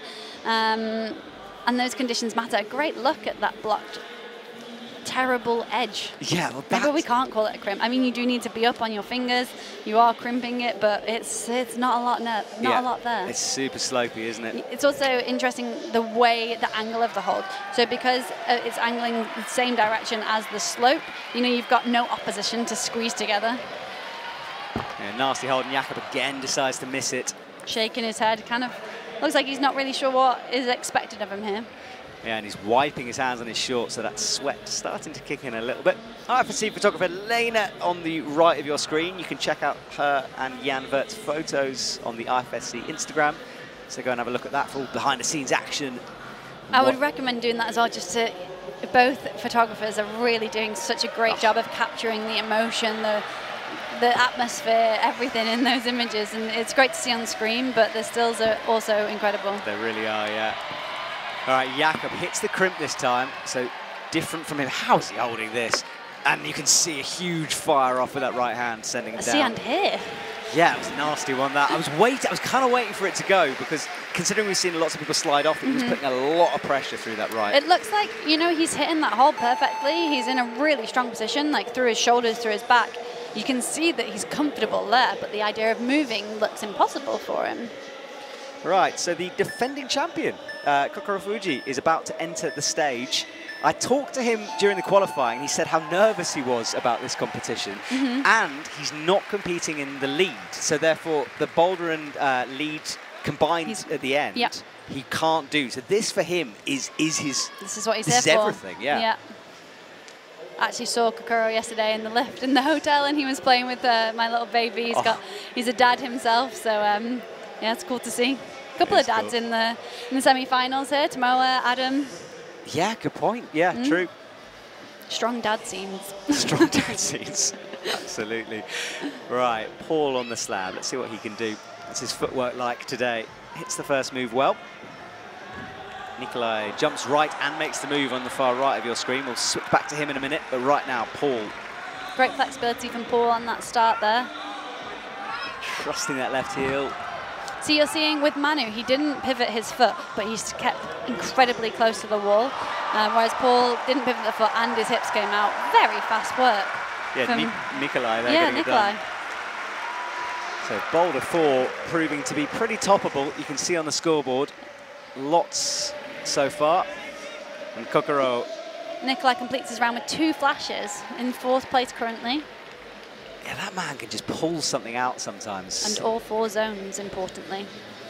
Good from him. And our, maybe our final's starting to take shape as we near the end of this semi-final. Still some big names to come, though. Sam Avezou, who's done well. Yannick Flohé, who's found some form. And we'll talk about his state of mind later on, but very chilled and calm this week. Right, Paul tries to stand up on that right foot, shaking. It's a precarious movement through this start. There it is. Positive hold on the start, but not very big. Very, very, very small, actually. Teeny tiny. So that heel is locked in. In fact, he adjusted it then, kicks out left, but the, holding the tension is hard. Yeah, so he's not adjusting the heel. He's opting to keep his hips super tight, very similar to Manu. Um, but as soon as the shoulder pulls back or the hip pulls back, you're, you're losing that. Let's check out Nikolai on boulder four. And we caught it in the corner of our eyes, but it's nice to see it on the big screen. So here he goes, sets up for the no-tex, commits to it, into the press, just holds that. And I want to see the top of this climb. Goes up with the right hand on that jug, then has to match. I think that holds so good. They can kind of do what they want with it, the jug. But then this move, you can see his brain, his eyes flicking. Misses oh. the foot, but still holds it. So Ooh. powerful. He loves those kind of moves. All right, Nikolai, that was his story. He's left the stage now. Ah, oh, yes, from Kokoro. Yeah, he won the world champs before, and I remember calling him a climbing robot because of the power he had mm -hmm. with his mm-hmm. lock off. It was just like watching a machine. Such strength, yeah. Love to see and him And from Team Japan. I mean, the selection alone, I mean, it must be a, a logistical nightmare trying to work out who actually gets into these competitions. So, minute 42 to go. This athlete's on stage now, coming up to 11.22 Central European time. It currently looks like it's going to be super important to try and get a zone on the second boulder. Um, we're seeing the top three athletes currently have three tops, and I imagine you might need three to get through to finals. The route setters thought it would be three, maybe two. Um, it looks like it's going to be three. Right, so we kind of started to figure out what the athletes need to do and who our finalists will be here. Paul adjusting that left hand on the edge of the volume, matches it, He's looking to palm left, isn't he? Yeah, he's looking to go slowly. Great oh. to see someone trying something different. Yes, it is, and it had to be Paul Jenft. he always thinks outside the box, but he loses it. Left hand slip there as he tried to adjust. But this is tricky now, isn't it? Because he's tried something different with a minute to go. So does he commit to that one? Does he go back to the original? All going to be on feel. So what did that feel like? Did that feel possible? Did it feel better than the other method? such big decisions to make, and you know, try like having such a small amount of time to do these boulders, it just changes everything. Yeah, and do go and try that if you're at your local gym. Go and give yourself a time limit, see how much it changes things. It really does. Removing the luxury of being able to just try different methods and have half an hour playing around. Absolutely. Well, Paul kicked. So Paul did go back to the kick. So the palm maybe not feeling right, but he's back on with 11 seconds. Yeah, I think that's done for Paul. All right, well, he will leave the stage. Time ticks through. The audience applaud, and Sam Avezou is out next, and he's having a brilliant competition. Exciting to see him competing in lead and boulder. And the fourth French athlete to come out. Yeah, Team France. Wow. Eh? What what an event they're having. They really are. Oriane was down in the audience. She was in action last night for the women's boulder. So Jack runs on to his final climb. Jakob's on M3, and then there is Sam in the black in the middle, and Tomoa is on M2. Yeah, one thing you don't see so much um, whilst watching the stream, but you really get a feel for when you're at the events is how much the teams support their own athletes, but also the other athletes. There's such a buzz with the with within the athlete community. Um, you can hear actually, I don't even know if that was an athlete. It sounded like it screaming behind us there. Um, yeah, it's it's so amazing to be absorbed in that. Yeah, that's what makes our sport special, I think. Wow, wow, that was incredibly well held. Okay. Yeah, he's in well now. I didn't want to speak too soon. so good with Sam again. Oh, look at that huge jump from Sam. That's such confidence to do that kind of a move like that. Mm-hmm. And a flash as well. He almost doesn't know what to do with himself. Yeah, is that it? and the judges holding up the scores there. And it, it, it's funny that because it, in the sort of like world of electronics, I quite like the fact that it's still written down sometimes. So the You know, I really like it. I like the fact that it's very obvious. Yes. You, you, there's no second guessing. When you're in that space, there's so much going on. You can just look, check that it's all good, and, and go back to your own zone behind the wall. Sam almost didn't know what to do with himself after that top. The him sticking that dyno the way he did, he slapped into the no texture part of the hold, kicked out the no texture part of the foothold, and was just sliding around. Um, but made it work. He did. And Jack is also sliding around. it's funny how that hold isn't. I mean, I know it sounds obvious, but it's not taking any chalk because it's you know there's no there's no friction on it. But it's it's unusual to see athletes not brushing a hold. It's kind of a very different. Yeah, it's almost the, the, the opposite. You want um, some like rhinos and spit or something sticky on your hands to make that work. Well, that is the thing, isn't it? It's, people have told me that they, you do if it, a little bit of wetness in your hand makes that Mhm. no-tex work. Jakob's in though. Look at this. Not a- normally a fan of the slab, but it is not slowing him down right here. No, it isn't. Brings the right hand under. He's got to be careful with the feet now. Creeping upwards, slowly, slowly does it, Jakob. His tongue sticking out in concentration. Left hand on, right hand's coming through. It's not there yet. Now it is there. And that's it, we think. We'll wait oh, and you can see what that means. Jakob Schubert is on a roll, and it is exciting to see. We've seen him be really specific in his event choice this year. We've not seen him do a full season. Um, leading up to trying to qualify for the Olympics to be part of these combined events, um, gaining points if he needs them for later events. But you know, he's clearly peaked here and is on fire today. He is. It was great to see him in Innsbruck as well, performing well. Interestingly, he is missing the zone on the second boulder, despite a lot of climbing and a lot of effort. But I don't think we'll see him slowing down on the final boulder, and could be enough. Yeah, I'm looking at the scores now. It's like two, yeah, you need two tops, at least two zones at the moment. Right, Tomoa matches in.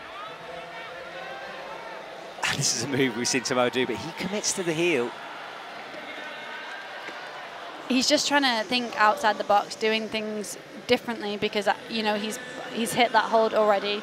He knows it doesn't work to just hit that hold and be super basic. Um, so I think we'll see him trying a few different methods now. And Jack making progress on the movement here. Just needs to. You want to get enough power to get to the finishing position and then stop. Yeah. And what's going to make you stay on the wall here is everything stopping and being in control. We saw Nikolai really fighting it, but if you can kind of get that body movement perfect, it looks like that. There we go, and he kicked that right foot out in the space to control. And now let's see this. This is the exciting bit of this boulder. He launches upwards, but kind of gets Oh. caught up. Yeah, I got a little stuck. It looked like his right foot maybe hit something Yeah, or you could the hear wall. it. Just lacking confidence there. Um, and experience too, you know, like this is an amazing round for Jack. If he can repeat that move, which is something again that comes from experience, being able to execute the same move once you've done it again. Um, but all incredible experience building for Jack at such a young age. Yeah, and he's just outside of that final place at the moment. And it's worth saying there's uh, microphones behind the wall, so when you hear these kicks, that's why we can hear them, and it's really cool to hear. It does feel like Jack knows this could be super important. This would bump him right up, and it's, it's He's- he's low when he's hitting that hold. He's not high in the hips. He'll be very frustrated with that. He didn't get to have a good go at that last Yeah. move, which is something he's capable of. It's an amazing round of climbing, and I hope he can see that. It's going to be frustrating because, yeah, that was very, very close to being three tops for him. It's great to see Team GB coming on because there was certainly a, a, time after you retired where it sort of dipped down a little bit, and now we're seeing so many athletes coming through, and of course, people like Molly, more experience, mm -hmm. is mm-hmm. still there. And Molly yesterday making semi-finals, her best result. Um, what an event to do it in. Yeah, yeah squeaking in in 20th place. It's really, so cool really cool. Now, we've got some appeals underway, haven't we? Yeah, so I can't tell you what the appeals are, but on the app, if you have it, if an athlete is highlighted in yellow, it means they're under appeal. So that'll be another team will be potentially appealing a decision that was made by a judge. So whether it was on a top or if they touched something out of bounds or didn't start correctly, or it could be their own team appealing for a decision again on a judge that they don't agree with. Um, once they go back to white, that means the appeal will have been resolved. That's an update on the app. This is Yannick Flohé who tried the stretch, going for the launch. Now, His foot there did not hit the hold. No. His foot was above the hold, it hit the wall. Not that it mattered in the slightest, it just showcases how strong he is. He dropped down, super focused, picked his choke back up, and off he's gone. Yeah, good work from him. And Very little reaction because I think it was an, an easy day, easy moment for um, Yannick on that boulder there. And Meichi as well with 3.50 to go is looking in control, makes the top. More and more as time goes on, it's looking like we're going to want those three, you're going to want those three tops to be getting into that final. Yeah, and he knows it's important. Kokoro now as well reaches up. He's on the slope, it drops down. It would be so cool to see a top of this. Great to see him getting high though, and importantly getting that zone. Yeah, you're right. Still no one topping that boulder. Let's have a look at Paul and his top. So this is on M4. Really held on to that note actually for quite a while. Didn't swing through it like some of them have done. Yeah, really powering through his biceps, using them to pull himself across. This is his second attempt, so fast work for him. And then let's see what he does. He Needs to be super top. confident, really pouncy. No feet, then brings the feet back, shoulder moves. But you saw finish. he got that power, he was fast, he was strong through the movement, got nice and high, no hesitation as he set up for it. Sorry, a little hesitation as he set up for it, and then as soon as he was moving, no hesitation, straight to those two holds, which is exactly what you need. It, it is hard to imagine how bad those holds are. You know, the left is is a sloper, the right is just a flat volume. You are just like pure pushing between those holds. Okay, Kokoro Fujii has two and a half minutes to go. You can see that yellow square down there. It's just to stop the athletes from smearing on the wall, making it a little bit harder for them at the start of this boulder. And that strength you were talking about earlier. Yeah, this is the robot star. That's it. It's just he just made it look easy when no one no one else has been able to pull through. Yeah, it's like he engages a gear that others don't have.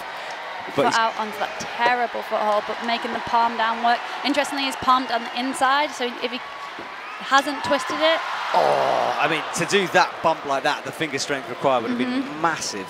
That's the move, that's the bump, that's, that's what he wants to do if, if, he can. I don't think he'll be able to match in. I wondered whether that would work. It doesn't seem like it's possible. The hold is just too bad. The foothold's not positive enough. The black hold is too slopey. Um, he opted to turn his fingers in on the palm and not out, which I think meant when he bumped, he didn't have as much kind of control with the backhand.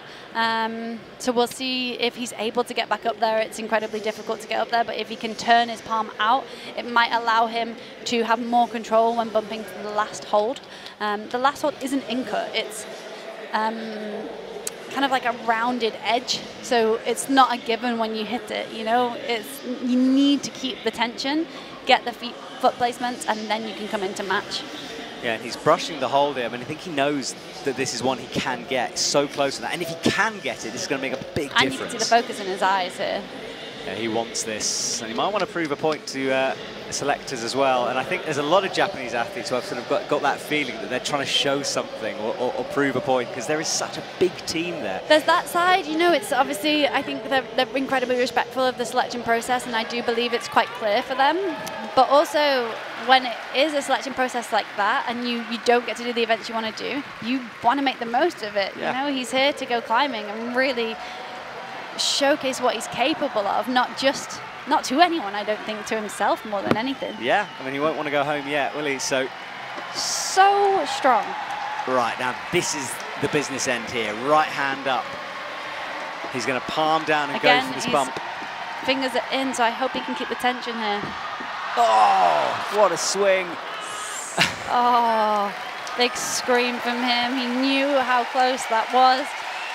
I think if we gave him a, a little rest and another attempt, we'd see a top there, but that's the game. That boulder's gone forever, and that's something that's hard to let go of sometimes, you know? You don't ever get to try these again. Yeah, I don't know how you do that. I would sit in, in bed at night and just like have it replaying over and over in my head. I've been asked um, many times about like my own climbing through competitions and, and some success that I've had, you know.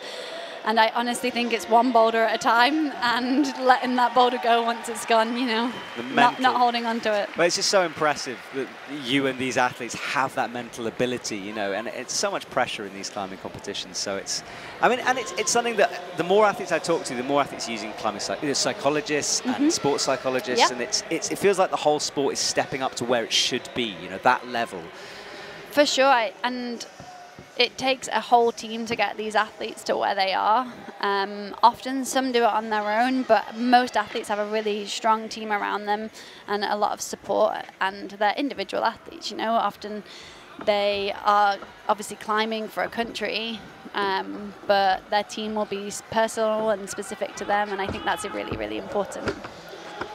Yeah, everyone different, everyone needing different treatment ways through these competitions. Yoshiyuki out on his first boulder. Ooh!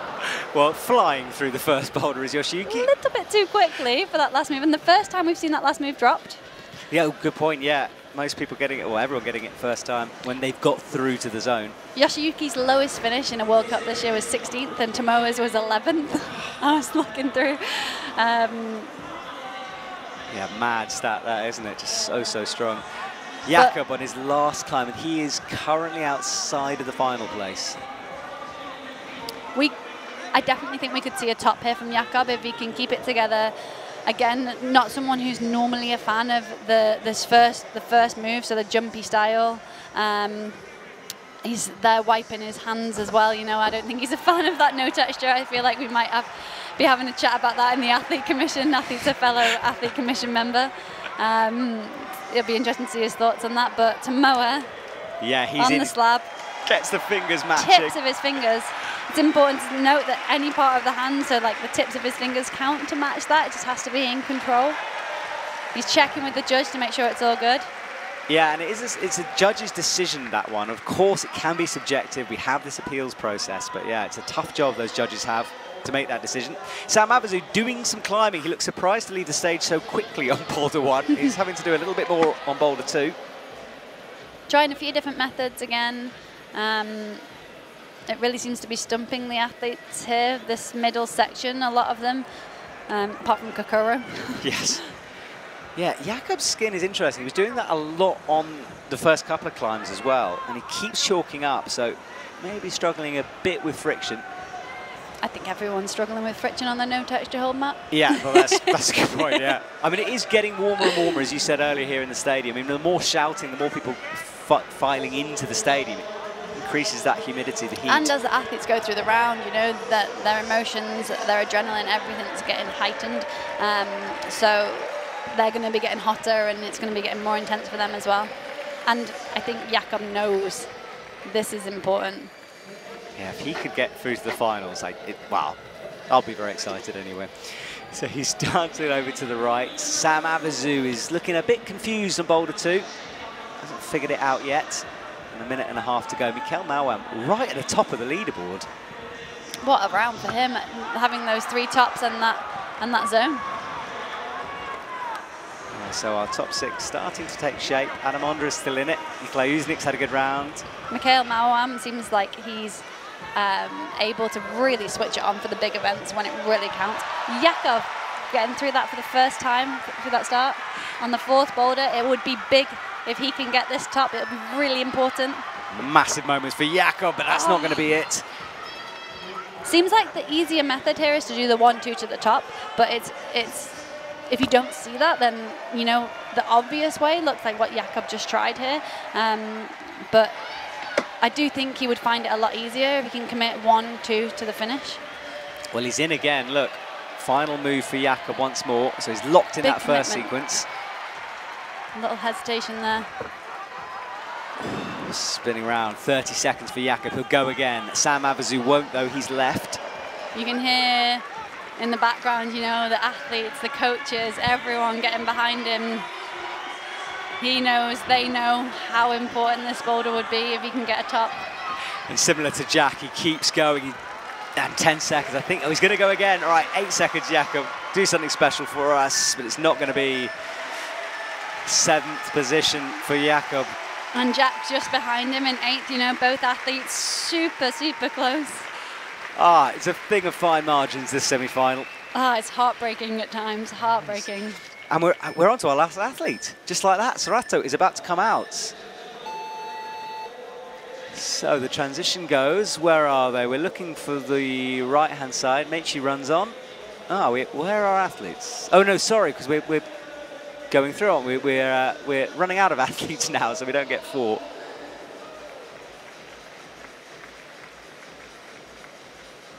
So Meichi brushes the ball. Yeah, we're just trying to work this out here, whether that should be the case, but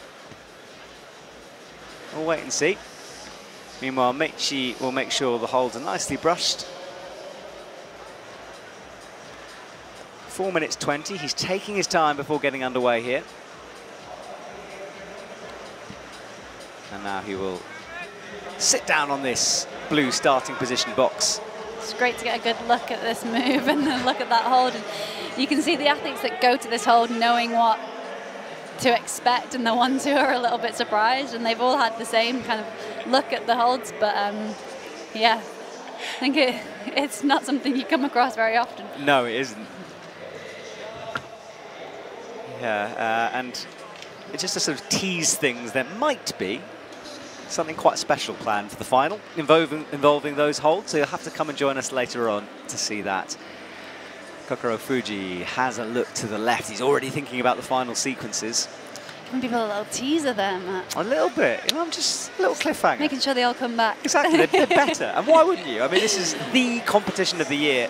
It sure is. Of course, next year we have the Olympics. This year it's the World Champ, so this is what everyone has been talking about all year. It feels like I've, I've said the World, World Championship so many times, and finally it is here, so uh, it's exciting. And what a place to have it, you know, like the whole city has got behind this event. You see the posters everywhere having the opening ceremony go through the city centre. Um, Switzerland is a strong climbing nation, so much knowledge in this crowd, and you can feel that, I think, when you're on the wall, but also when you're in the crowd too. I saw a tram decorated in, in the colours of the World Champs coming I did too, town. yeah. Super exciting for everyone. Kokoro is sitting in 13th, stretches that right hand up the wall, gets the heel in now. He's got to trust it, and oh, beautiful from him. Great hip positioning on that step across there. And See the tension going through his legs. oh, Was that a slight leg bar? I think it might have been, yes. It I mean, almost looked like he tucked his leg behind the Yeah. hold very slightly. and for, considering how many athletes we've seen sort of shaking their way across into it, he was really confident Yeah, really up. strong in his legs, really strong through his hips as well. Um, great core tension and confident in his ability to hold that position. So he is done. He goes with two minutes, and right now Meichi makes the jump. Straight into the jug there. Yeah, and then a bit of an adjustment, and let's see what he does here. Will we see him go one or one two? I think for Meichi, he's a much taller athlete. He could definitely do the beta that we saw Adam do, so throwing over to the black hold and keeping tension with the left foot, so not having to hold that barn door, that big swing that you're seeing most of the athletes having to hold who are going one hand. I do also think Meichi's easily strong enough to hold it if he goes one two, so kind of that really quick move to the top hold, um, which is much more shouldery. But whether he's seen it or not is a different question. Yeah, well, he's got a minute 20 to figure this out. Or Doesn't work out seem to be different taxing him on the start. You know, at least that hold's taken no skin. That's, that's true, yes. Yeah, it seems like it's one of those moves that once they have it, you know, it's a coordination style thing. Once they've got it locked in, it's it gets easier. So let's see what he does this time. Although not under pressure, as we saw earlier. No, true. Went for the double and then Went the right the hand. double, but not from the palm. So if he can do the double from the palm, just connect those two methods together, I think we'll see a top. but the clock's counting down, and we've seen athletes previously, you know, as that clock starts ticking down, it all starts to kind of come a bit disjointed and the wheels come off a little bit. So hopefully we don't see that now and he can keep it together for the start move. Wow, he's got 36 seconds on the clock. His final boulder of this semi-final jumps in, making that look so smooth now. Nice, really nice. Let's see if he can combine everything. Left foot up. He's going direct, no palm. Touched it, but no, no go. It's going to go again. Yeah, this is the mad rush, isn't it, that we've been seeing. Yeah. Out and in, I think. Oh, he's going to go again. 10 seconds left. He pulls and back why on. not? No buzzer beater this time. Not this time, so he will leave the stage. So I do believe there might be an appeals process underway. We didn't see an athlete come out on boulder two there, um, which I believe would have been Yannick, um, and we haven't seen Sorato start yet. So we'll see what happens here. The two athletes under appeal are still in yellow on the app, so we'll see this time. Here's Yannick on boulder two. Yeah, occasionally when they bring an athlete back, they have to uh, they have to leave gaps in order to fit that into the schedule. So that's what might have happened. Mm -hmm. And we do see Yannick now, and there we see Sorato. Now, Sorato, I mean, I interviewed him right at the beginning of the season, and he was this 16-year-old kid coming from Japan, and I thought, you know, yes, he's another Japanese athlete coming yeah. through. We'll see what happens. But what a season he's having. We saw what happened. Yeah. 2023 overall winner for Boulder. Yep. Very good in the lead rope. And that's Sam Avezou, his sister, having a good comp as well, coming from a big climbing family. Eyeing up that left hold. Make sure the feet are secure on it.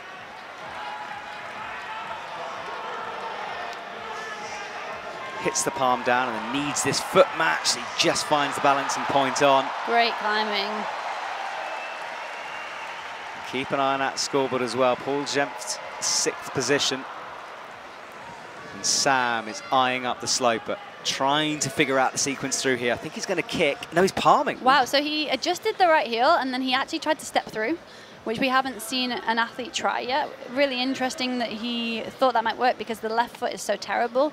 Um, it just shows that he's really creative in like thinking on the wall. I think we'll see him definitely adjust that method this time, but he's definitely got a feel for it now. He's back on the wall already. Yannick got super high on um, M2 just then, getting the zone, which is going to be really useful for him. Um, so hopefully we'll get to see him get back up there. Yeah, Yannick shakes out, trying to get the pump out of his arms. Sam Avezou step forward. Will he do that method again? And then Sorato is in for the final. No, sorry, Tomoa is in for the final move. Up in the left, misses the palm.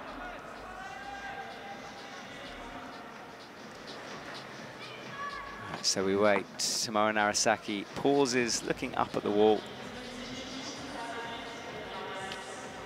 Mickael Mawem it, it's just incredible he's at that top spot.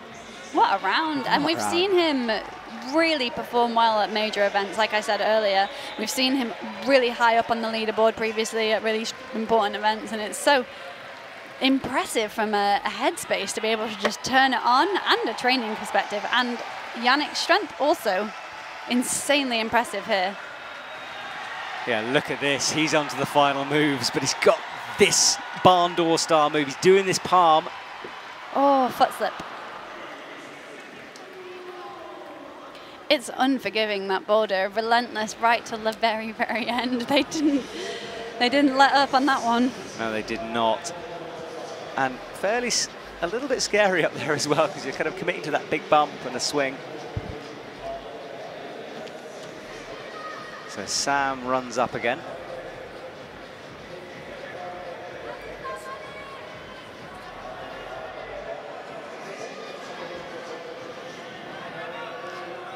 So Yannick rests on boulder two. Sam Avezou wants to brush on boulder three. Tomoa again launches up, palms down and pushes away. It's interesting to not see a quick top on this one from Tomoa. I would have expected it. I don't know if it's the pressure building, if there's something going on that's meaning he doesn't feel comfortable on this, but this is a Tomoa boulder, I would say. You know, he's kind of the, the bringer of the new style in many ways. You know, he was the first to be that super springy, confident, like almost aggressive in a really delicate way, um, two words that you wouldn't normally put together. Um, no, it's a great way to describe it, actually. It's not seeing the sequence on this top move, not something that we're used to seeing with Tomoa. Yannick. Oh!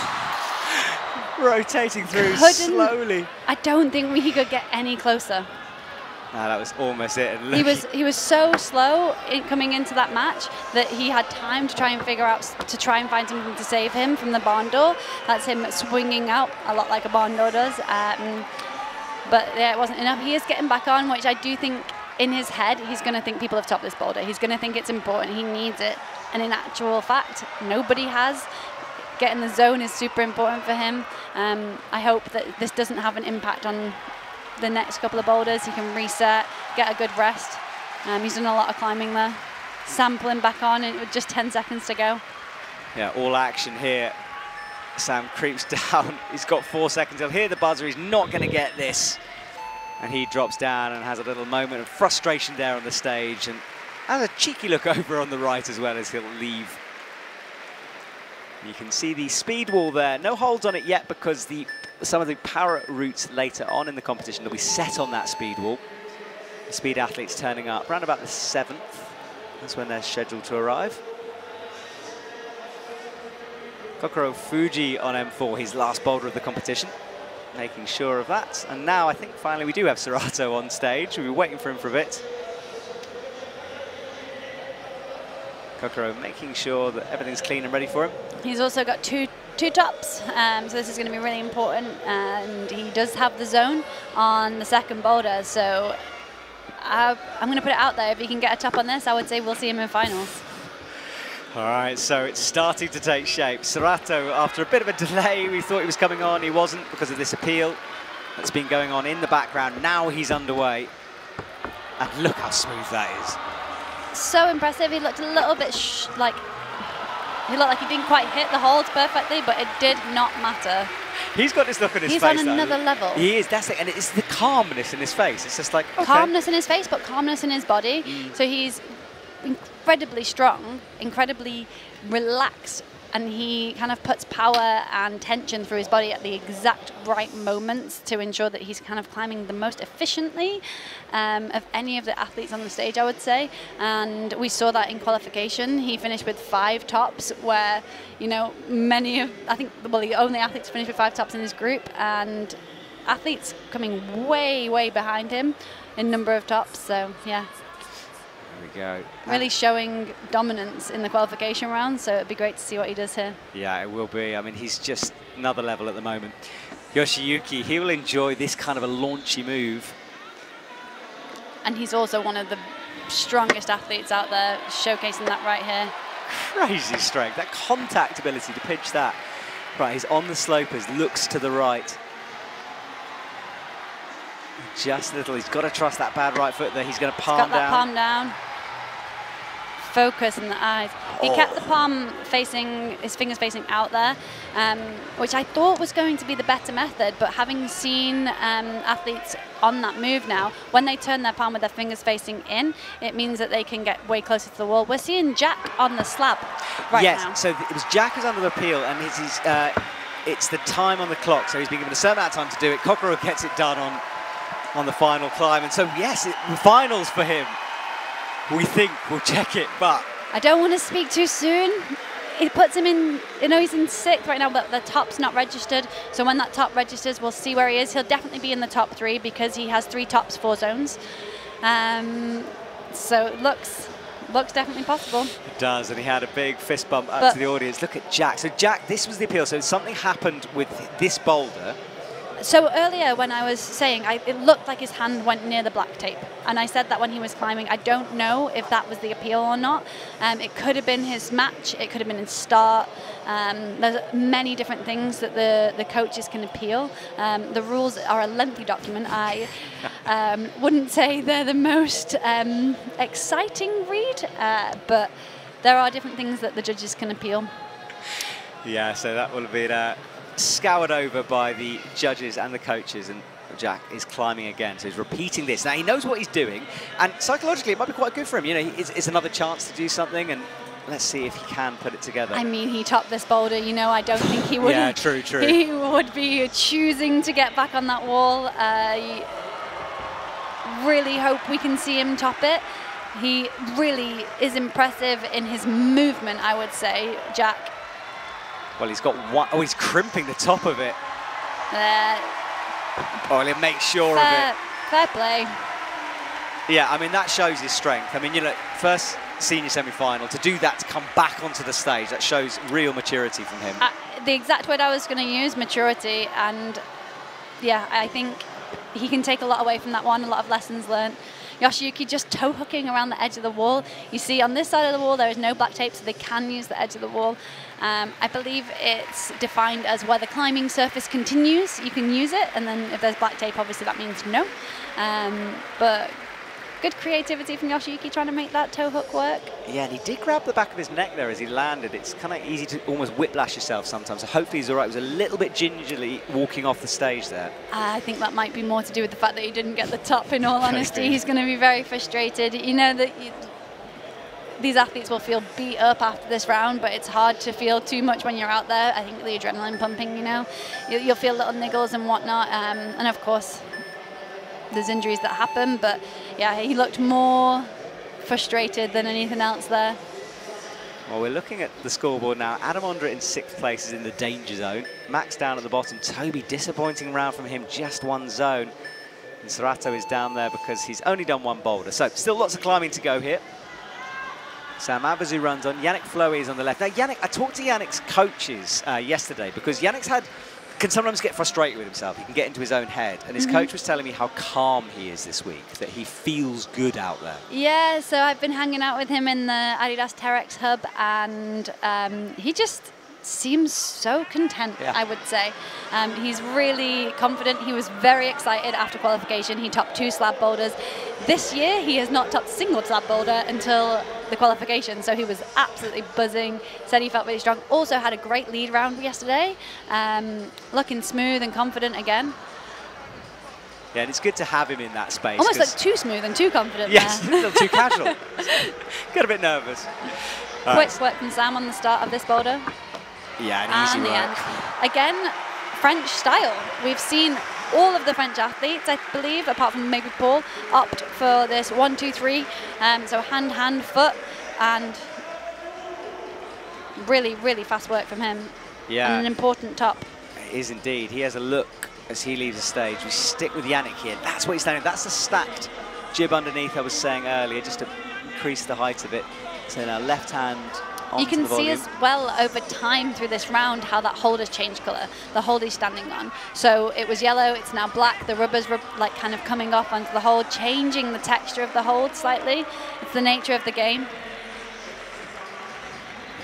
I don't know how he slab climbs in glasses. I wear glasses and it's, you know, they're scratching away on the wall. Yeah, I, I completely agree with you. I imagine they fall off as well, but he always does. Manuel Healy as well always walks on with glasses and mm. tends to take them off. Yeah, I think we saw Manu throw his glasses on the slab earlier. I don't think in um, I don't think they were getting in the way though. I think that might have been frustration again. well, we're nearing the uh, the end of our competition here this afternoon. There is our Swiss crowd enjoying things, party-like atmosphere here in the stadium. Sam's top on boulder four there bumped him into seventh place, so he will miss finals. So we're seeing athletes get with two tops. Um, some in finals currently uh, in fifth place, all the way down to 14th. So those attempts and those bonuses really matter. Oh, Yannick had a moment there, nearly dropped the right foot with the foot match. Now he stands up, more in control, big adjustment again you can see he's being very aggressive in that movement there, um, which is quite feisty as he goes for that hold, which meaning it's really difficult for him to control where his shoulders and his hips are, so two heavier parts of the body that you want to keep nice and tight into the wall.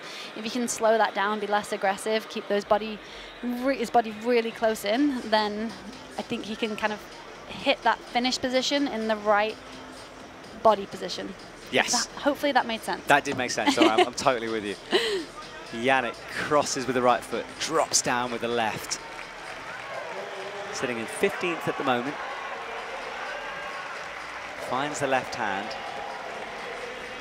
Better on the foot match now.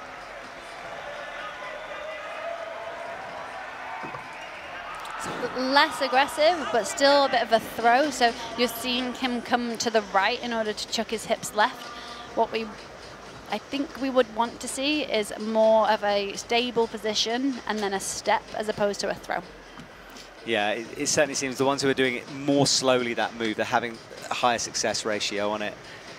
And the rest of the boulders kind of in the shadows there, waiting for the athletes to come through. And Yannick is alone, with all eyes upon him. And throughout this week, it's, uh, it's a very packed schedule. You can check out the schedule on the IFSC website, and there's constant updates on the Instagram pages and social media, so have a look at that if you want to know what is going on in the next couple of weeks. Yannick drops down again. Adam Ondra right in the danger zone at the moment. He's going to be nervously watching on.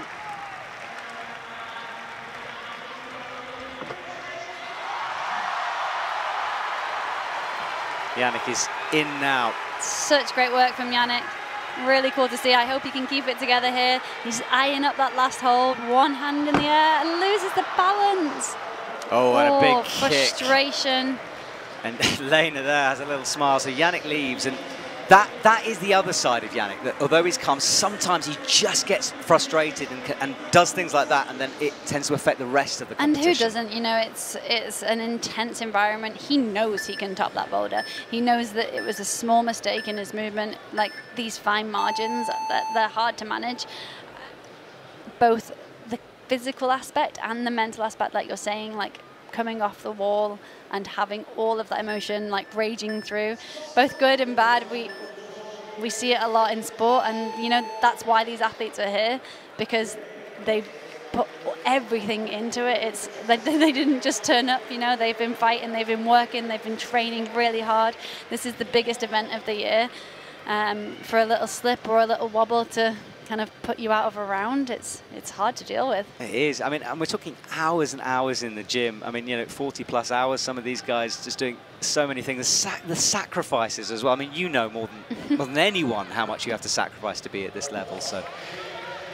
Yeah, you see a small snippet maybe on the screen here or on social media, but yeah, what they will be putting their bodies through. Um, in training and then at this event, especially those going for a combined place, Olympic, an Olympic spot, it's it's a lot to endure. It is, exactly. So we're fully behind them all. And Sorato bubbles the feet. He looked uncomfortable, so he hit that high right hand um, and he looked back down and it almost looked like his hand was really insecure. Um, he dropped straight down, pointed up for a brush. Um, so hopefully he can kind of figure out a better position on that next time.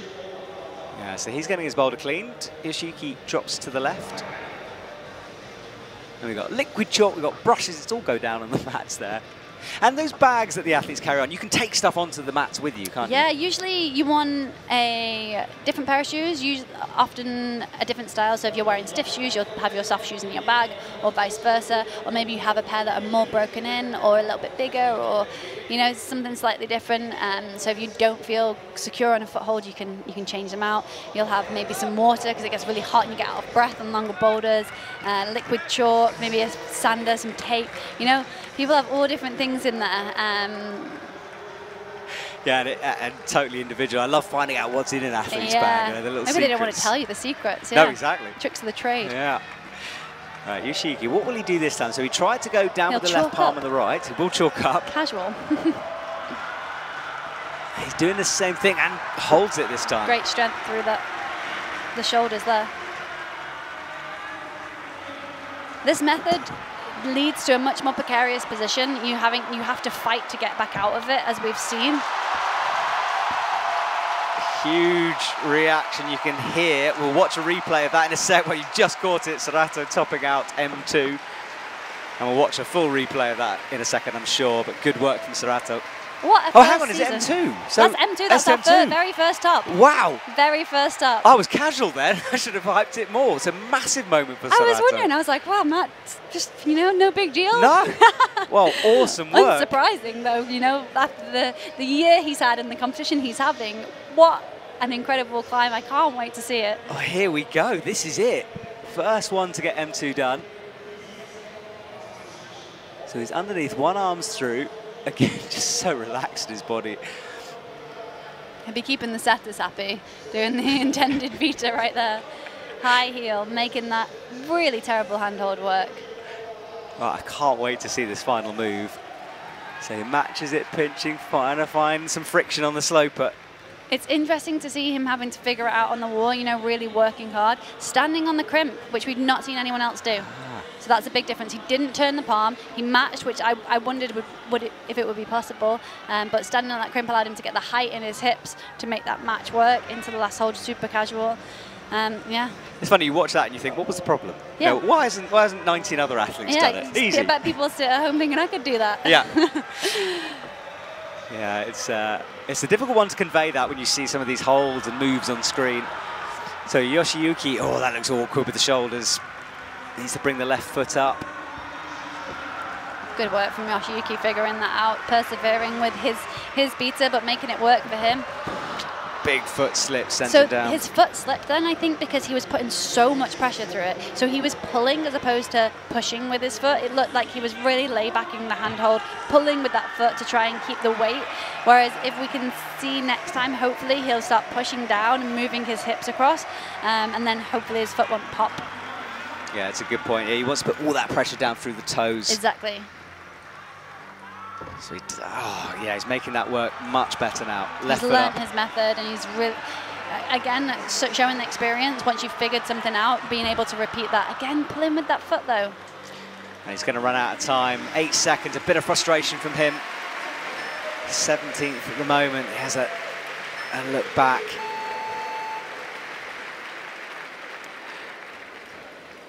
So we are having a look at the scores for you as well, trying to work this out. It's always uh, difficult as we near the end of the competition, who's going to jump over who. Hands waving in the air there from our crowd.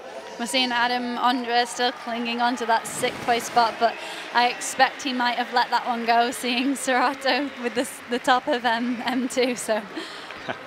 well, there is a lady who you might be familiar with uh, if you're watching this, Janja Garnbret. Uh, she's on very good form, two tops for the lead and a strong boulder round as well yesterday. Watching in the crowd with her coach there. It's great to see everyone supporting, actually. You know, you wouldn't excuse them from going away and having a day to themselves, but it's nice to have them in the stadium really cheering people nice, on. yeah. And also it's important as an athlete to get a feel for what the boulders are like, the style, the wall, the crowd, the environment, like familiarize yourself a little bit. I think you'll see most athletes that will be competing um, on the stage, they'll be popping in just to get a feel, even if they're only here briefly. But like you said, a lot of them are sticking around. Um, yeah, I hadn't they, thought they of that. It's a show. really good point. Just because it must, you know, you can sort of get the nerves out of the way a little bit, you know, because you get some familiarization with the environment. Yeah. You know, you're not there's not as much new when you walk out on that stage then. You're not trying to take everything in at the same time. You've kind of got a little feel for it already, which these guys didn't have because, yes, they've competed on the lead wall already, but they haven't competed in the boulder wall, they haven't competed in semi-finals, um, they hadn't seen the boulder, like the boulders themselves, obviously. Um, well, we saw Yannick rubbing his hands on the wall then, and I wonder if it was to get a bit of sweat on his hands to help stick to the no texture hold. He hasn't chalked up yet, which I thought we'd see him do, which we're seeing him do now. And the reason he's chalking up is because he was rubbing his hands on the wall. So there's texture on the wall. Um, and instead of chalking up before pulling on, he yeah, rubbed his hands. So strong, but again, that barn door, you're seeing him big swing. I hope he figures out the one-two method on the end here, because yeah, yeah, he can get this. Uh, it's interesting you say about the uh, the moisture. Look, and he's wetting his fingers here. There's a very famous shot of uh, Jakob Schubert being caught on camera, slow motion, licking his fingers once, which was yeah, uh, pre-COVID. pre-COVID, of course. And uh, yeah, just having a little bit of dampness there can help. And you saw Jakob there putting water on his hands. Uh, Yannick, but yeah, I'm actually surprised that he is the only person to have done this. Mm. He's not no one else we've seen licking their hands or putting anything on. And that's why I mentioned like rhino skin spit earlier, not um, not personal not spit. spit. spit. No. I don't even know if there's a rule that you're not allowed to do that. There definitely should be. Health and safety, maybe. And it's working so well for him. Yeah, I mean, it makes so it well. look like it's got friction on it, so big difference. All right, now he Does mean he has to spend some time getting chalk on his hands, That's though. true. All right, well, we saw him almost hold the barn door before. What will he do this time? Palm down to start with. Oh, he holds it beautifully. Now he has to work out the match, though. Easy from Quick Yannick. work. And I tell you, that is impressive because the fact that he was frustrated after the slab, obviously, as we saw, to go Yep. back, reset, and then send it is impressive yeah, stuff. and to, to do that in a round is is a hard thing to do. Um, people will have different methods. You've got that five minutes sat behind the wall, so your rest period of time. Um, obviously, you get longer if you flash boulder because you get the extra the extra time from your first five minutes. But being in that chair and what you do in that space is going to be incredibly personal. Really important to be able to walk out and then execute a different boulder in a different style, not Yannick's favourite style again. Um, he's much more of a fan of the, the climbing, like basic strong pulling. He's incredibly strong outdoors as well as indoors.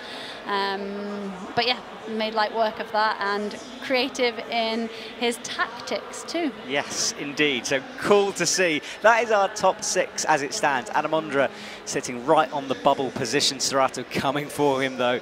Nicolai Uznik, Mejdi Schalck, Dohyun Lee, Kokoro Fujii and Mickael Mawem make up our top six as it stands. Yannick Flohé outside in seventh. Mickael still holding on to that top spot.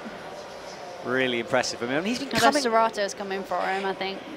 Yeah, he's definitely a threat for sure. Alex May goes down in 15th. Jack MacDougall, what round he had in 14th. And Manu as well. One thing we should definitely mention is that these results impact uh, the combined. So where they place in this event, regardless of whether you make the finals or not, this is going to have an impact on if you make it into the combined. So this could be really good for an athlete like Jack. We could see him in the combined event with this result. It's going to keep changing as the event goes on, what happens in lead, what happens in finals, so it's impossible to know, although I'm sure some maths geek will tell me um, that it's not, I say maths geek, maths wizard I Yes. should say, not geek at all.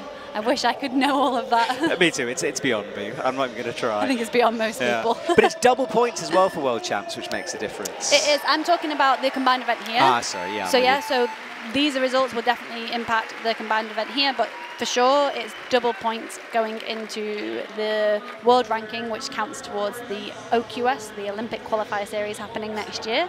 Um, yeah.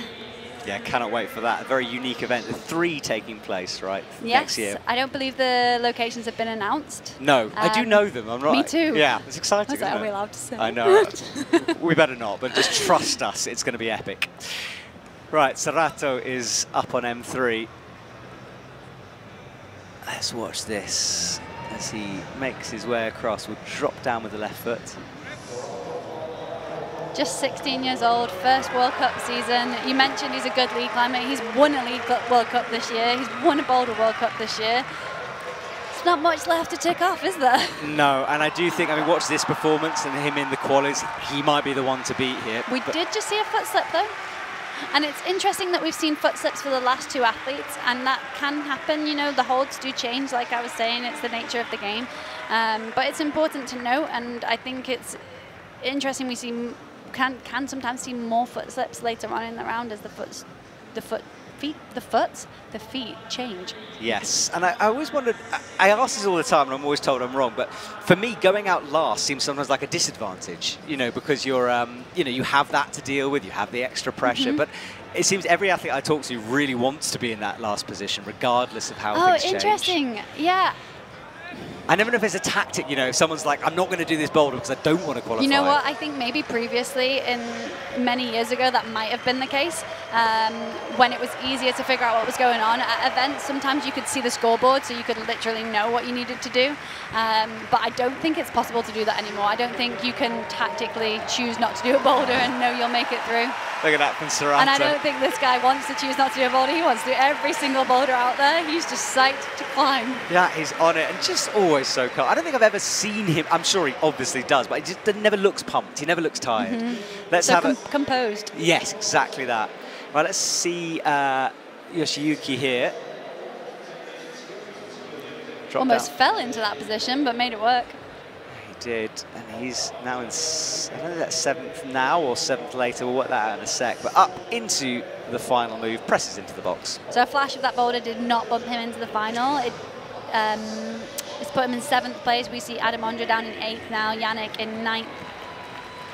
Oh, well, let's check the scores. From 11th down, Paul Jemperton 11th down towards 20th. Matt. Sorato has already bumped himself into the final position, so he's in fourth. Um, well, there we go. Mick Mikel at the top, still unbelievable. Kokoro Fujii, Dohyun Lee, Sorato Anraku, Mejdi Schalck, and Nicolai Uznik on the bubble. Adam Ondra, as you said, down in eighth now. Yannick, good stuff from him in ninth. Sam Avezou down in 10th position. So I, I'm going to put it out there. We've just seen Yoshiyuki on the fourth boulder, so we've just got Sorato to go. So I think that is our finals list there. He's already in fourth position. He can change what position he's in. It looks like he's going to do just that. But I think our top six will remain our top six. But what a top six. Subject to appeals and any well, changes that I miss. and that's a really good point because, yeah, this is can change and our broadcast will finish before the appeals process will finish. So just be aware of that if you're watching. And Julia. Interesting set of results here, though. Yeah, I mean, it's. And look at those. Oh, yeah, Tomoa down as well. Just above his brother, Meichi. Tomoa very used to being in a finals position. It is interesting to see him miss this final. I tell you what, I think Jakob Schubert will be uh, happy with that result as well in 12th. Happy, but oh, I don't know, he was so close, you know, with yeah. that last boulder. He kind of tickled it, you know, he was almost in that final. Yeah, he still have some work to do on the... see a replay here. I love how he did this climb. That move especially casual. Just, just so cool to watch. And then this, is, and look how much pressure he's putting through that right hand. We've seen so many athletes fire off it, and look, he's adjusting on it. The perfect amount of pressure. Yeah. And he look for the heel. And then we see him, see his right foot as well, hits the wall. It's moving around so he can get his hips in the right position for this next move. Really mature climbing from such a young athlete. Uh, very impressive. Only one to top boulder two. And you can see almost that he is a strong lead climber. He's able to hold positions, figure out what he needs to do, make those adjustments. Um, you can see his eyes moving around, like he looks for the foot immediately. He's comfortable in that position, able to bring the hand in, reaches out. This last hold is very, very poor, but you wouldn't know it. You watched him put that left foot down on the crimp, and you, you wonder why no one else did that. I think he's a, a, shorter athlete. He's incredibly flexible, and he felt so secure on the holds. So all of that combination allowed him to stand nice and tall and high, which meant that when he got there, he didn't need to turn the palm to stay on the wall. He was able to stay composed, put that foot on, and then match him. But if you didn't feel good on that right hand, which none of the other athletes looked like they did, you, but getting the foot up would mean that your hips would tilt, so your pelvis would tilt, which would bring your weight in your shoulders back, and suddenly you'd be off the wall before the foot even made it up there. Whereas because he was so strong, there was no movement in that right arm whatsoever. He was super secure and able to bring that foot up. Shauna, I don't know if I'm going too No, no, you're so, I was about to say you're so good at describing movement. Honestly, it's like I, am kind of like being drawn into your descriptions here. It's fascinating. I'm it's like, like you're mechanics. nodding at me, but is everyone at home just like, what on earth is she on about? No, no, you are, you are nailing it, honestly. It's, it's, it's so interesting when you do talk about it because you realise how much there is involved in it, and it, and it is just like a body mechanics thing. You know, everything uh, needs to click like, into place. I think it's beautiful. I think it's fascinating. I, I love movement. I love watching climbers and seeing the really specific kind of choices that they make subconsciously and consciously. Um, they're both different. Um, yeah, that's why I got so excited when we were reading the boulders. I was like seeing all these possibilities, and I think you were watching my eyes dart around. Yeah. Like, I'm not going to say anything now, just in case. Save it for the live stream, but. Uh, yeah, yeah I'm so just fascinated by it. It is one of my favourite parts of this job is we, we get that privilege of walking onto the mats, you know, and no one else can really do it. Obviously, there's the judges and everyone who can, but I, I feel very privileged it does feel like a there. huge privilege. I mean, when Frankie was zooming up and down the mats with a brush, like brushing all the footholds, I did find it quite comical. Um, she doesn't know how lucky she is. Yeah. Uh, did you post that story? I put it on my story okay. on Instagram. Go, yeah, go just Frankie like brushing the foothold um, of the final boulder. Yeah.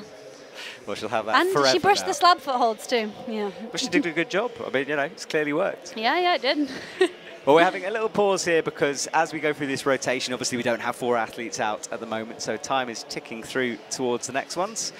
Let's have a little look at Mickael Mawem at the top of the leaderboard. This was impressive stuff. Real commitment on that I feel like we didn't talk about him as much as we should have done when Yeah. he was climbing, but he that's what happens when you do the boulders so fast. You're not on the screen very much, you know, and we saw him do such a great effort through this round, turning it up when it counts.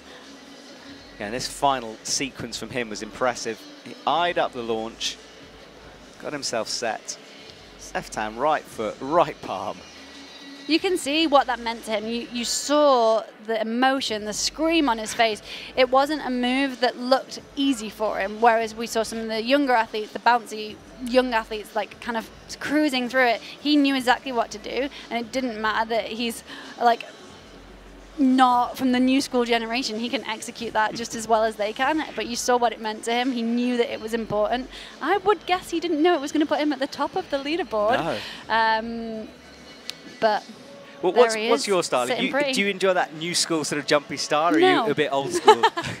There's a reason I don't compete anymore. um, you know what? I definitely learn to enjoy it and I learn to embrace it. And now I go to the climbing gym and I get quite excited having a, a try of it.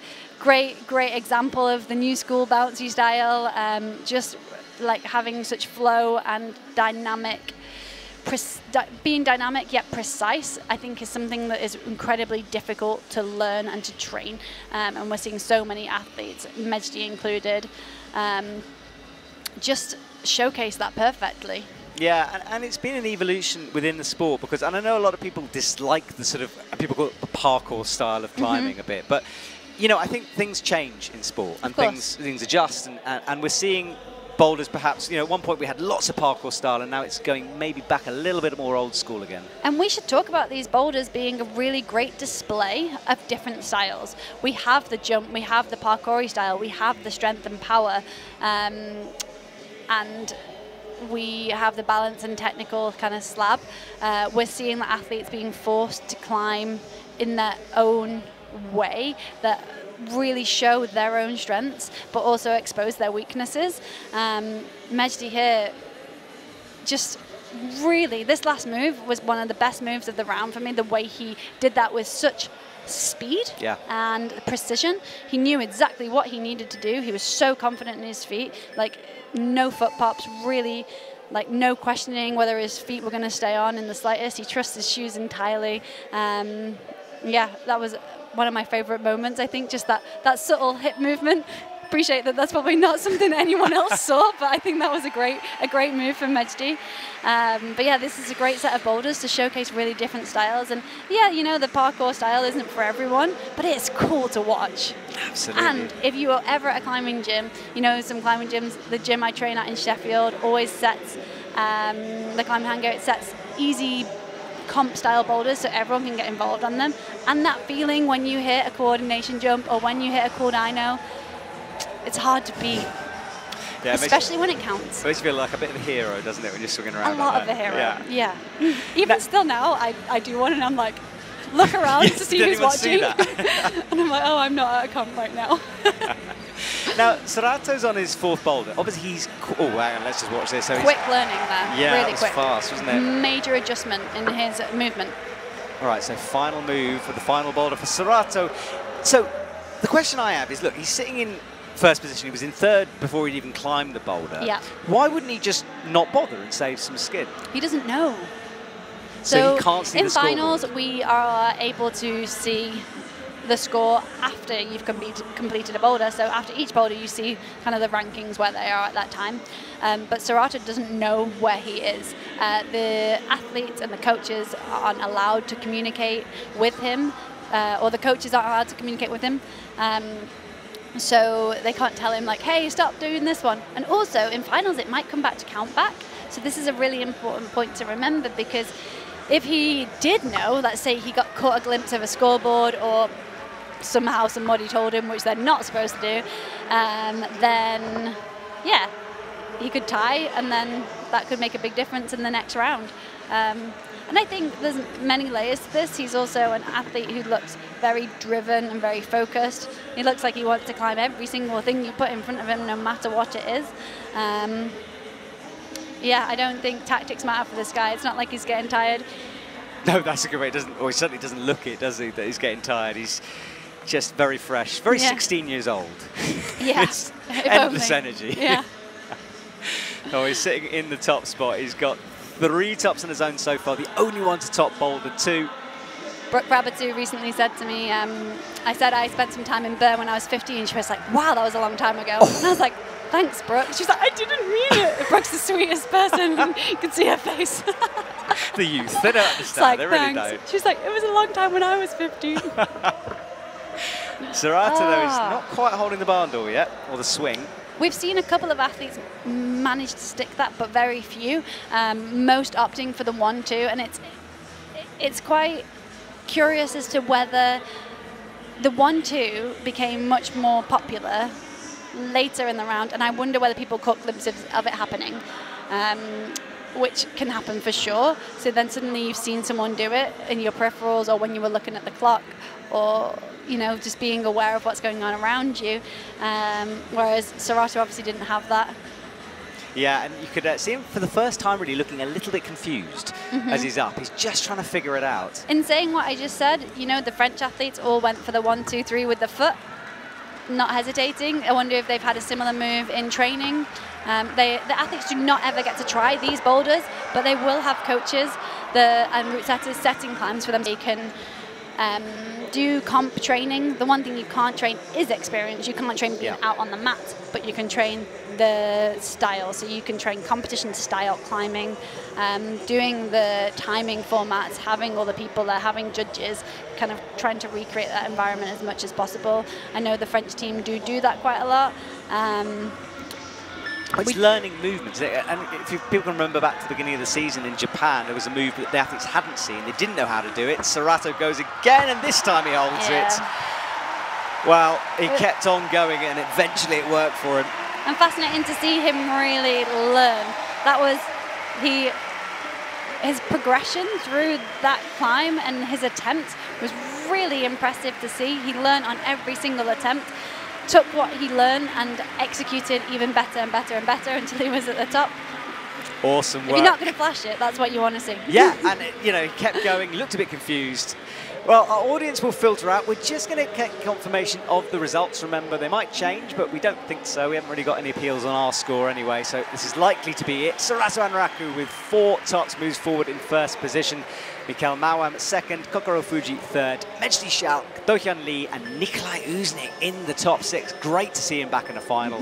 Disappointment from Yoshiyuki and Adam, so close but so far. Very close, and also athletes like Jack and Jakob, you know, they they're down in the results, but they were so very close to being in that final, um, as were some of the other athletes. So, yeah, it's going to be a tough one to swallow for some of them, needing to reset because those athletes who are competing in lead or and or combined, you know, it's a long, long event, and there's still a ways to go. There is indeed. Um, we have got more action coming later on this evening, so do come and join myself and Shauna here for the immense final that's taking place later on. Cannot wait for that. I I can't wait can't to see what wait. boulders. I mean, that was a semi-final. I'm really impressed with this set of boulders. Um, I think, yes, it's frustrating we didn't see many tops on the second, but it allowed the athletes to get creative.